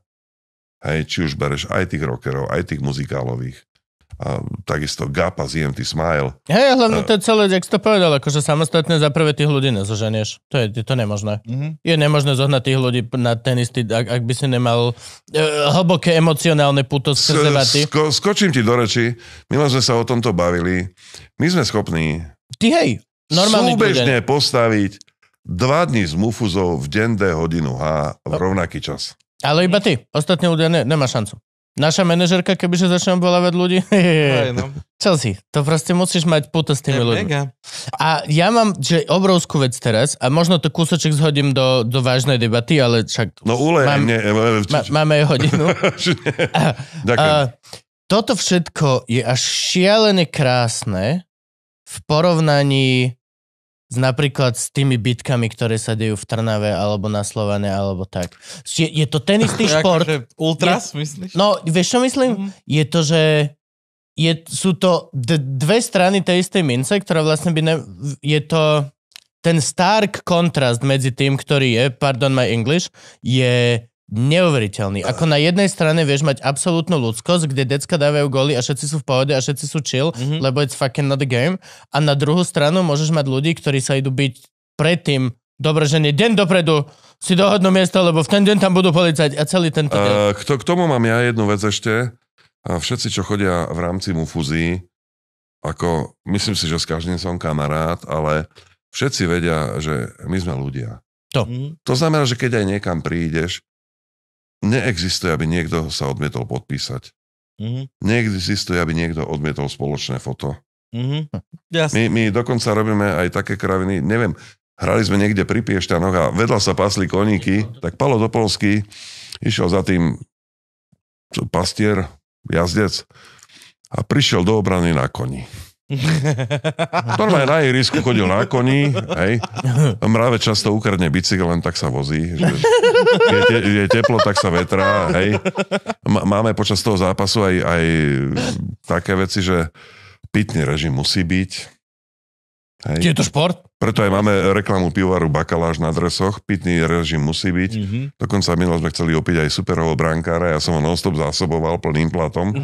No a keď si nedal povedať, tak e, máme tam aj baby, ktoré chodia hrávať, napríklad Martina Halinárova Jašicová, vynikajúca biatlonistka, Mhm. 5-násobná účastníčka olympijských hier, takže to Martinka je naozaj pojem vo svete športu. Olibe Štendika, Zuzka Vačková, ďalšie, ďalšie, ďalšie. Peťu Kepeňovú som spomínal. Romanka Dangoan už teraz nehrá, lebo pred e, pár týždňami porodila druhé dieťatko, ktoré je veľmi zdravé, ale tiež sa zúčastňovala Adriana Koutko a samozrejme krásne v dresoch. Furt sa jej snažíme e, hodiť loptu tak, aby ju spracovala na prsiach, Mhm. čo Adriša e, striktne odmieta. Ale aj títo naozaj veľkí umelci, v tomto prípade svetového mena, sú úžasní párťáci. Mhm. Oni sú radi, že idú. Oni nás majú radi, my máme radi ich. A vieš, no, to je, to je také sr- kde- srdiečkové potom. A kde vidíš ten rozdiel? No, e, trošku ti budem e, protirečiť v jednej veci. Áno, bitky sú viac na futbale, na hokeji už nebývajú. Tam nie, no. Si, si to, a poviem ti, kedy skončí. hokej, ja keď som začal robiť hlasateľa na Slovane, rok ti presne nepoviem, ale tam presne bolo, že uh, obrovská rivalita bola. Štyri týmy. Zvolen, Trenčín, Košice, Slovan. Bola obrovská rivalita. A raz si pamätám, tréner Jadlovský, čo trénoval Trenčín, povedal na tlačovke asi mesiac predtým, že ja neviem, čo sa stalo, namiesto mojich hráčov asi prešli e, na poslednú tretinu nalad nejaký ufóni. E, Trenčianskí hokejisti odtedy majú prezivku ufóni Mhm. a všetko sa to začalo na Slovane. E, Už trénoval František Hosa, mne Maroš Krejči vtedy, čo bol prezident klubu, povedal Stano, trošku ich rozlať. A ak bude pokuta, radu zaplatím. Tak ja som začal hlásiť. E, Priatelia, vítame v Bratislave hviezdny výber Dukli Trenčín. E, Hostia prileteli v tejto zostave a už, už som nakladal, vieš. A trénerom, to, Jemné, zatiaľ jemné. trénerom tohto galaktického výberu je František Hosa. V pondelok na disciplinárke e, riešili úplné hovadiny. Ale čo bolo zaujímavé, Bratislavčania majú Orla, Áno, Slován, papagaj. tak Trenčania z neho urobili papagaja. A vieš čo, v tej sezóne sa tie bitky pred štadionom zmenili na takéto verbálne provokácie a anim, animačné provokácie v hľadisku. Mhm. Vtedy ako keby skončili bitky. Že sa to potom e, Košičania hneď samozrejme opakujú, tí sú na východe, tam to je trošku ďalej, kým to príde z Bratislavy, hej. Začali tu mandarinku, darinku a, Áno. tieto videjka vtipné. A dnes ísť na hokej a pozrieť si to s dobrým drinkom v ruke je úplná Je to paráda. mega. To je tá šovka na kocke, čo býva. Presne. Čiže tie Vieš. zábery, čo sú, tak to sú futbalisti, hej? to sú tí Futbalisti, ultras a títo všetko. áno. Ja ne, ne, nejdem sa priznávať k ničomu, ale poznal som jedného chalana a z hodou náhod, nerobím si srandu, študoval violončelo. Violu, veľké. Tak niekde to musel filtrovať. Veľký chlap a tiež chodil sa byť, ale proste reálne, mňa, tam- mňa vždy fascinovalo to, že oni by sa podľa mňa chodili byť aj bez toho, aby boli prilepení k nejakému športu. Chodili by sa byť Ventilovať. sídlisko versus sídlisko. Mesto versus mesto. Krčma versus mesto. Ale, ale to, to, to Ale sa, majú možnosť, prepáč ešte, len sa prilepiť ku tomu športu. ale my sa vraciame k tomu, čo sme hovorili, že niekde vybitú energiu a získa to seba Jo, ovládanie. My, my sa vraciame k tomu. Presne. Hej, ale napríklad ja som naozaj slovanista, keď... e, Aj sme- futbalový. A, a, Do, určite. futbal je tiež Slovan? Prepáč, že som Áno, fakt, že áno, áno. retardovaný. A my keď sme Tak. hrali, dajme tomu v Špačinciach, tam mi to doteraz nevedia odpustiť a polka sa zase rehoce na tom. No, Tak, vieš, no, uh, moderuješ, že to všetci fandia tam, Trnave samozrejme. Mhm. A Trnava získala pred pár rokmi aj titul futbalový, ale vtedy ešte nie, tak ja som akože, dobre, ideme, budeme sa baviť, toto a toto vás čaká všetko ako speaker. A potom debilná myšlienka, otvoril som telefón, hovorím, dámy a páni, prosím teraz ticho. Poprosím vás o symbolickú minútu ticha. Dôvody poviem neskôr. Prosím vás, ukludnite sa tam v tom bufete. Kolotočári, zastavte to. Stala sa naozaj veľká tragédia. Minútu všetci zastavili hráči. Dokonca lopta vo vzduchu chvíľku stala, potom padla sa jej nechcelo. Dámy a páni, to bola symbolická minúta ticha. Za márnu snahu futbalistov Spartaka Trnava 40 rokov získať majstrovský titul. No. A to si povedal, ja mám Trnavákov akože celkom rád, vieš. A hneď mi tam začali spievať, rozkopal som slovanistu a takto milo sme debatovali až do konca podujatia. Ale oni to, čo je úžasné... zob- Ako náhle zaspievaš, rozkopal som Slovanistu, reálne by som mal byť, že kde, ja si musím zapísať, ako sa volal a kde sa to stalo. Ja len podávam hlásenie, som občan, len robím, čo sa deje. Nie, ale, ale to bolo, že úžasné, že aj oni to zobrali ako for a jeden prišiel ako, ty si si dosť dovolil. Hej, no, ale to hej, to ťa mohli hnať svinským krokom odtiaľ. Ale toto je insane. Toto je, pre mňa je to šialné, že ako náhle, že proste je to, samozrejme toto je tá klasická cesta uh, defuzovať situáciu skrze humor. Je to proste to, čo robíš, pokiaľ sa nechceš byť. Ale to, že vlastne je nejaký šport, ale vieš čo myslím, že oni sa na to nalepili. To je, to je môj základný point, že títo bitkári sa nalepili na nejaké športy, ktoré normálne a prirodzené vo svojej náture sú ľudské. Ono to podľa mňa vymizne. Lebo Myslíš? ísť na ten Slovan, na ten hokej je fakt super. Veľa mňa sedia deti. Ej, Je tam No, aj veď to- kul- kultúra, štadión je je nádherný. Hej, štadión je nádherný, atmosféra je parádna, je to úplne, že úplne niečo iné, hej. No, na futbal nechodím, no ale... To, pretože, Ale aj, aj, futbal, aj, pardon, aj futbal ide k lepšiemu, myslím si. Aj, Ide? aj kultúrou toho štadióna to strašne veľa robí. Áno, hej, to, to prostredie, veľa, hej. V stodole sa pomlátiš, ale v luxusnom byte už rozmýšľaš, vieš. Áno. A jak sa dá dostať no. do Mufuzy? Beri, beri, draftujete? Alebo... Aký my, my ako ešte mali umelci, keby sme raz mali záujem stať sa... Stať sa... vie, vieš čo, je, je to takto, no najskôr bol tie prvé roky nábor, Mhm. Maroš Kramar s nami chodil veľmi často, Janko Kroner, keď ešte uh, bol pri plnom zdraví, bohužiaľ nie, tomu tak a chodili veľmi radi, len Maroš čím ďalej tým viac žije v Čechách, filmuje a neviem Áno. čo, hráva divadlo, ale samozrejme trošku sa to aj obmienia, tam ten káder. Niektorí jednoducho skončili v Mufuze, či už vek alebo zdravotný stav, to treba rešpektovať, stále sme kamaráti.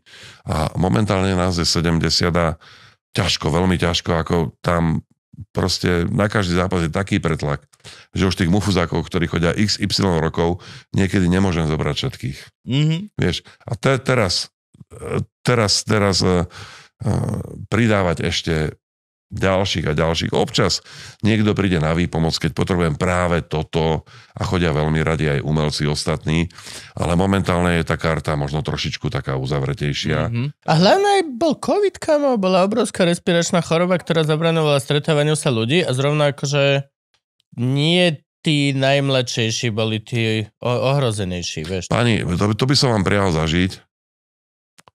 My sme mali koncom augusta jednu firemku, že si nás firma objednala. Padali tam veľké mená, ktoré prídu, hokejisti, futbalisti. E, Niektorí aj prišli dokonca. A ja som utajil, že príde pán Čálik, Mhm. Karol Kočálik. Posledný žijúci člen. Pán, že v rokoch, extrémne. Posledný žijúci člen pachovej družiny, hej? Áno. tak po slávnostný výkop myslím, že Pišta Skurucaný, ktorý bol spolumoderátorom spolu so mňou, majiteľia a hovorím, no a posledný do partie na ten slávnostný výkop bol schovaný Charlie, Mhm. maestro Karol Čálik. Chlapí, ten aplaus, to by som vám po- Mm. doprial počuť. Jo. A keď ešte vybehol potom na pódium v rámci programu Mhm. a zaspieval a zatancoval len bez ženy, nemôže byť človek. To je srdiečko takto, normálne. To je, hovorím, Karolko, ty aj keby si, si len laškal na to pódium na 3 minúty, Mhm. tak máš najväčší aplaus, suverene. Kámo, 20 rokov dozadu, keď ja som že prechádzal z konzervy na, na VŠMU, tak nám pani Evička Rysová, moja, moja mama divadelná, vybavila do novej scény cez zadný vchod sme išli. Samozrejme, že jediný chuj, čo som bol, tak som, že išiel predným vchodom a nepustili ma a potom som meškal pol hodinu, lebo som nevedel, kde je zadný vchod. Živnostenská doprava, hej? Úplne, že retard, úplne retard. A došiel som tam a na skúške, na skúške vyšiel Karol Čalík odspievať proste svoj part z muzikálu, čo tam mal. A reálne to, že si cítil medzi kolegami. On vyšiel a všetci, že OK, že máme Na Mhm. skúške. Väčšina krát, keď si na skúške, tak ľudia čekujú. Vieš, dobre to Mhm. dá, jak. Tu vyšiel a všetci, že OK, mám, mám dve minúty, môžem sa škrabať v nose. Lebo je dan. Je vyriešené. Mhm. Jo, to On, je... on, je, on je naozaj veľké srdiečko. Aj ja som sám na seba pyšný, No, je... že som ho dokázal zlanáriť A veľmi milý e, človek. do Mufuzy. Veľmi milý človek. Aj čo sme s tým, že mali nejaké z hodiny a tak, čo nám niečo prednášal. Šialene milý pán. A bol, bol dokonca aj, myslím, u Vladka Voštinára v Inkognite, prišiel v saku Mhm. a mal nejaké neurčité tričko. A nejako predstavili, má sa tajný host, či takto. Mhm. A Karol potom sa rozopol. Takéto logo mal na tričku. No. Akože hrdý, Nie. mufuzák. Vieš, hovorím, to, toto sú srdiečkoví ľudia. Srdiečkoví, ktorých máme naozaj veľmi radi. Napríklad nebohý pán Labuda s nami vystupoval. Mhm. Vieš, a to, to, už, to už ideme, na to sme na strope slovenských hercov pri týchto menách. Veru. Jo, jo. A ja verím, verím, dajme tomu, Marek Majecký, keď prišiel do Mufuzy, bol aj v Soči na tom prvom, čo som spomínal, jeho vtedy nikto nepoznal. A niekto sa ma pýtal, že čo tu je Mhm. Majecký, kto ho pozná. A hovorím, čuš, to je môj dorast. A tak sa aj stalo. Momentálne pán profesor na vašom. Áno, tak sa aj Má- stalo. Mare, Mareček, Už má piatý ročník má. kompliment a veľká úcta, že išiel si, nesklamal a bolo to úplne úžasné. Sledovať kariéru, napríklad Vlasta Mudríková, ktorá momentálne je v týchto harmonikových televíziách najväčšia hviezda, tak tu sme objavili v Staškove, keď sme hrali v rodisku Joška Koronera, ktorá prišla Mufuze zahrať grezňom. Mhm. Kurátko, poď sem. Mhm. Všetci spievali, všetci. Mhm. Kurátko, poď sem. Tak sme sa dohovorili, hovorím, vítaj v Mufuze. Ona normálne okoktavela, krásna baba Vlasta Mudríková, skoro okoktavela. A to je také srdiečko veľké. Už teraz mi vypisuje, kedy máme termíny, vieš, ja si chcem prispôsobiť e, moje vystúpenia, aby som stíhala Mufuzu. To je, to je proste úžasná vec. Tá baba sa bije za nás, vieš. Takisto sme našli tiež na jednej akcii, tiež grezňom nám vypustili horu mesa majster sveta kulturistike Luboš Maliňák. Poď sem. Vítaj Mufuze. Povedal doma žene, aj aj títo páni z Bratislavy, tí nás slubujú. Mal aj nejaké pivo v sebe? Aha, nie jedno. No vidíš. A to mi potom jeho žena rozprávala. Ty, a keď po mesiaci som bola pri ňom, keď si mu zavolal, Mufuza mi volá. Vieš, no- normálne zastavil sa život tam, že, že bolo dusno v tej kuchyni. Normálne para zrnca sa vrátila naspäť, pokrikol sa takto. Vieš, takže my aj hľadáme takéto ťažko zaujímavé typy, alebo hľadali sme. Vždy sme otvorení niekomu, kto môže obohatiť či už ten program, alebo niečo Za také. stand-up futbal. komikov, za stand-up komikov navrhujem, najskôr by mali z Miško. Sa Ten tu už dlho nebude. A on chodí aj hravať futbal, to je pravda. Mal, mal infarkt. Čo smiešnejšie môže byť ako s prepačením, ale proste to, toto je vtip, ktorý by urobil aj Miško. Židovský muž istého veku, ktorý chce vyhrať veľmi, lebo je to Mišo, a na druhú stranu vie, že má infarkt a na to ešte pridaš to, že ako židovský muž sa extrémne samo seba bojí. Kámo, nič není smiešnejšie. Ako Mišo, ktorý bude hrať futbal proti sebe vlastne. On bude hrať, on bude hrať futbal sám proti svojmu srdiečku. A my sme ešte mladí, Gabko, čo sa Takže ho, hovorím, tá, tá zostava Mufuzy je naozaj, ako ja som pyšný na ňu, že sú tam tí ľudia, ktorí sú. Všetko je e, zduplované. Mhm. To znamená, vypadne Vlasta Mudríková, tento rok pribudli páni bratia od Milana Markoviča. Áno. E, Robo Puškár a Peter Áno, áno. Niňaj, takisto. Tí boli fantastickí, trikrát vystupovali neskutočne. Máme tam ešte Solisku Lučnice, Noriku Vančíkovú a, a Dodo Duchovič, harmonikár, duo takisto, vieš. Tých headlinerov som spomínal. Tam ich máme Tá 4-5. cesta autobusom Áno. musí byť masaker. Už len cesta tam. len akože, len, len čo, No. to je prvá vec, čo ma napadlo Po- po tom, čo viem, počkaj. aké my máme zájazdy. Áno. A sme štyria v dodávke. Počkaj, uh, A väčšina z nás píše knihy a podobné hlúposti Keď a tvária sa dôležito. povedať. samozrejme, áno, to my tiež robíme. Jo, e, strašne dôležité, ale... Ke, keď sme chodili hrávať len futbal, kľudne si dajme drink. Lenže teraz ideme hrať futbal a tých umelcov, ktorí sú na každom takomto dni z Mufuzov je tak 30, možno 35. A platí jedna zásada. Jedno, dve piva si daj kľudne. Mhm. Ale na pódiu musíš byť tip-top. Potom si daj aj 8, aj 10, ak ti hrdlo ráči. Áno. Hej? Ale sme v prvom rade profesionáli v tom, čo robíme. Ja aj keď to moderujem a moderujem aj to pódium, aj, aj tieto veci, hej, tak takisto si dám pol piva od smedu, pol piva od smedu, ale prebehu možno hodiny.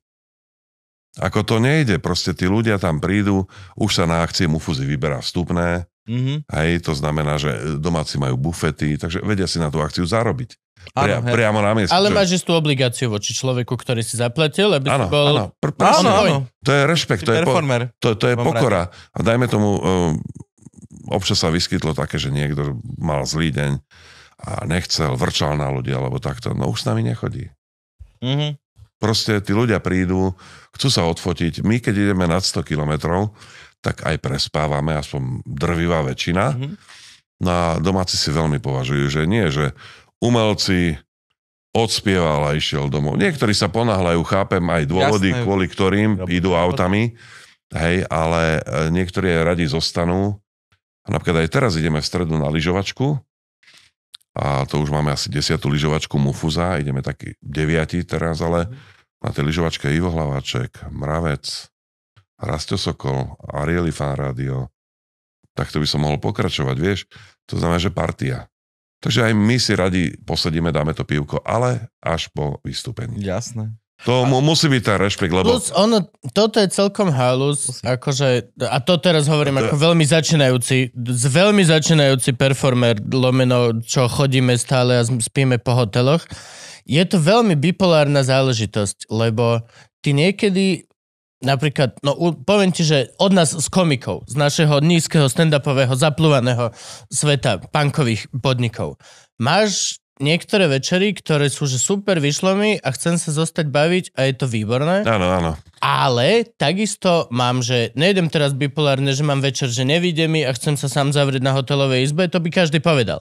Ale ma, ja mám aj večery, kedy vyjde mi a chcem utekať na hotelovú izbu, si urobiť poznámky a v kľude si urobiť tú prácu. Lebo je to istá práca a je istá práca pred, je istá práca počas vystúpenia, ale niekedy fakt, že a no, je, no vieš čo myslím, Niek- je to šialené až, až neuveriteľné, že ty dokážeš urobiť takýto mufu za prostý deň, kedy všetky tieto malichernosti umelcov a malých ľudí a všetky tieto pičoviny výjdu tak, že proste je to krásne. Ďakujem. Veľmi krásne ľudí. Ďakujem, ďakujem. To fakt, že krásne. A Tak, tak, máš e- ešte aj krčmu si vravel. Ináč máš krčmu a už máš aj dobré pivo, to ja nežno. Áno, máme pivko bakaláš, na ktoré som veľmi hrdý a máme krčmu Mufu Zapap, paradoxne, v Rusovciach. A všetci, ktorí k nám chodia, hovoria, že fantastické burgery. Dokonca, do, dokonca máme burger Jaro Hala, ktorý je u nás, keď je na Slovensku, každý druhý deň. A propos aj Jaro Halak je členom Mufuzy. Mhm. Sme Hokej? veľ, ve, veľkí kamaráti, áno, hokej. Ďakujem. Sme veľkí kamaráte momentálne New York Rangers. Do, dokonca aj na stenách sú halákové dresy u nás. Máme to celé, tá krčma v Rusovciach je ako múzeum Mufuzy. Tam sú obrazy, tam sú fotky, tam sú No, všetky tam tieto musíme okamžite... trofeje. Musíme ísť pozrieť, no. Jak je To- možné, že som v Rusovciach? A kde to je v Rusovciach? Chodím v Rusovciach Zastavíš na do pár... tej Na, Italiana Kučina, čo tam má ten pán, prekrásnu taliansku reštauráciu. no, uh, jak je to veľké parkovisko, jak vôjdeš do Rusovec, uh, lavotočivá zátačka od Bratislavy, je veľké parkovisko a oproti tomu veľkému parkovisku cez cestu je Mufuza pub. Veľký dvor, 220 miest v lete, v sobotu tam vyhráva hudba, je tam aj okničko na terasu, vnútri pub, asi pre 50 ľudí. A je niekedy šanca, že ste robili, že langoše alebo niečo? No naposledy minulý piatok. Mám pocit, že moja pani ma tam zobrala na vyhlásené langoše. Moja pani je langošový feťak, doslova, že narkoman. A zobrala ma tam na vyhlásené langoše, ktoré našla v nejakej, Dokonca Langoš Mufuza. že niekto písal, že choďte na langošku Irenke a to kto a pod tým niekto písal koment, že mňa, moja žena je taká, že sleduje komentáre pod tým kamažist Áno, a áno. reálne sme boli sa mi zdá u teba na langoš. Proste kvôli tomu, aby Dobre, mala... u- utri si kútik, lebo si sa zabudol vtedy. Jo. A ty, a ty sa aj dáš nájsť v tej krčme, že keď prídeme, tak Samozrejme. Tam, Sam, samozrejme. sedávaš tam, hej? Ježiš Maria, sme dvaja spoločníci, môj výborný kamarát Duško Borbeli, tiež je taká moja pravá ruka v Mufuze, má na starosti materiál, dresy, neviem Mhm. čo, tak s ním máme tú krčmu v Rusovciach. Buď tam je on, alebo ja, alebo mnohokrát, alebo väčšinou obidvaja. OK, takže keď O, prídeme... obidvaja, ale A- však Čiže toto je normálne, že tvoj, tvoj denný job teraz, no vieš čo myslím, časovo. Percentuálne časovo je to, čo, kde tráviš najviac času, áno, je, je, normálne krčma v Rusovciach? Áno, áno, dá sa To to, je tak mega. povedať. To je strašne super. No len vieš, ja bývam odtiaľ 11 minút autom, takže aj to pivečko ja ľúbim veľmi, Mhm. Ale to si tam nedáš. To ti srdce a maďarskí policajti nedovolia. To nie, no. Mhm. Hej, aj keď vraví sa, že šofer má byť veselý, jazda svížná a kto pije s chuťou nenafúka, ale to si zase nelajznem, Áno. aby som do tohto išiel. Plus, Ale máme v poslednej dobe dosť príkladov toho, že to fakt neplatí. To je pravda, no. Za každým, keď idem teraz cez Ochovu, tak reálne iba, what? Ešte sú... Tam vidíš, ako ďaleko zašiel. Áno, To, Je to tam vykosené. to je úplne chore. no, Jo, A- no. asi negatívna skúsenosť. Treba, treba prischalanie, lebo naozaj tá mufuza žije, dokonca aj mufuzáci tam chodia.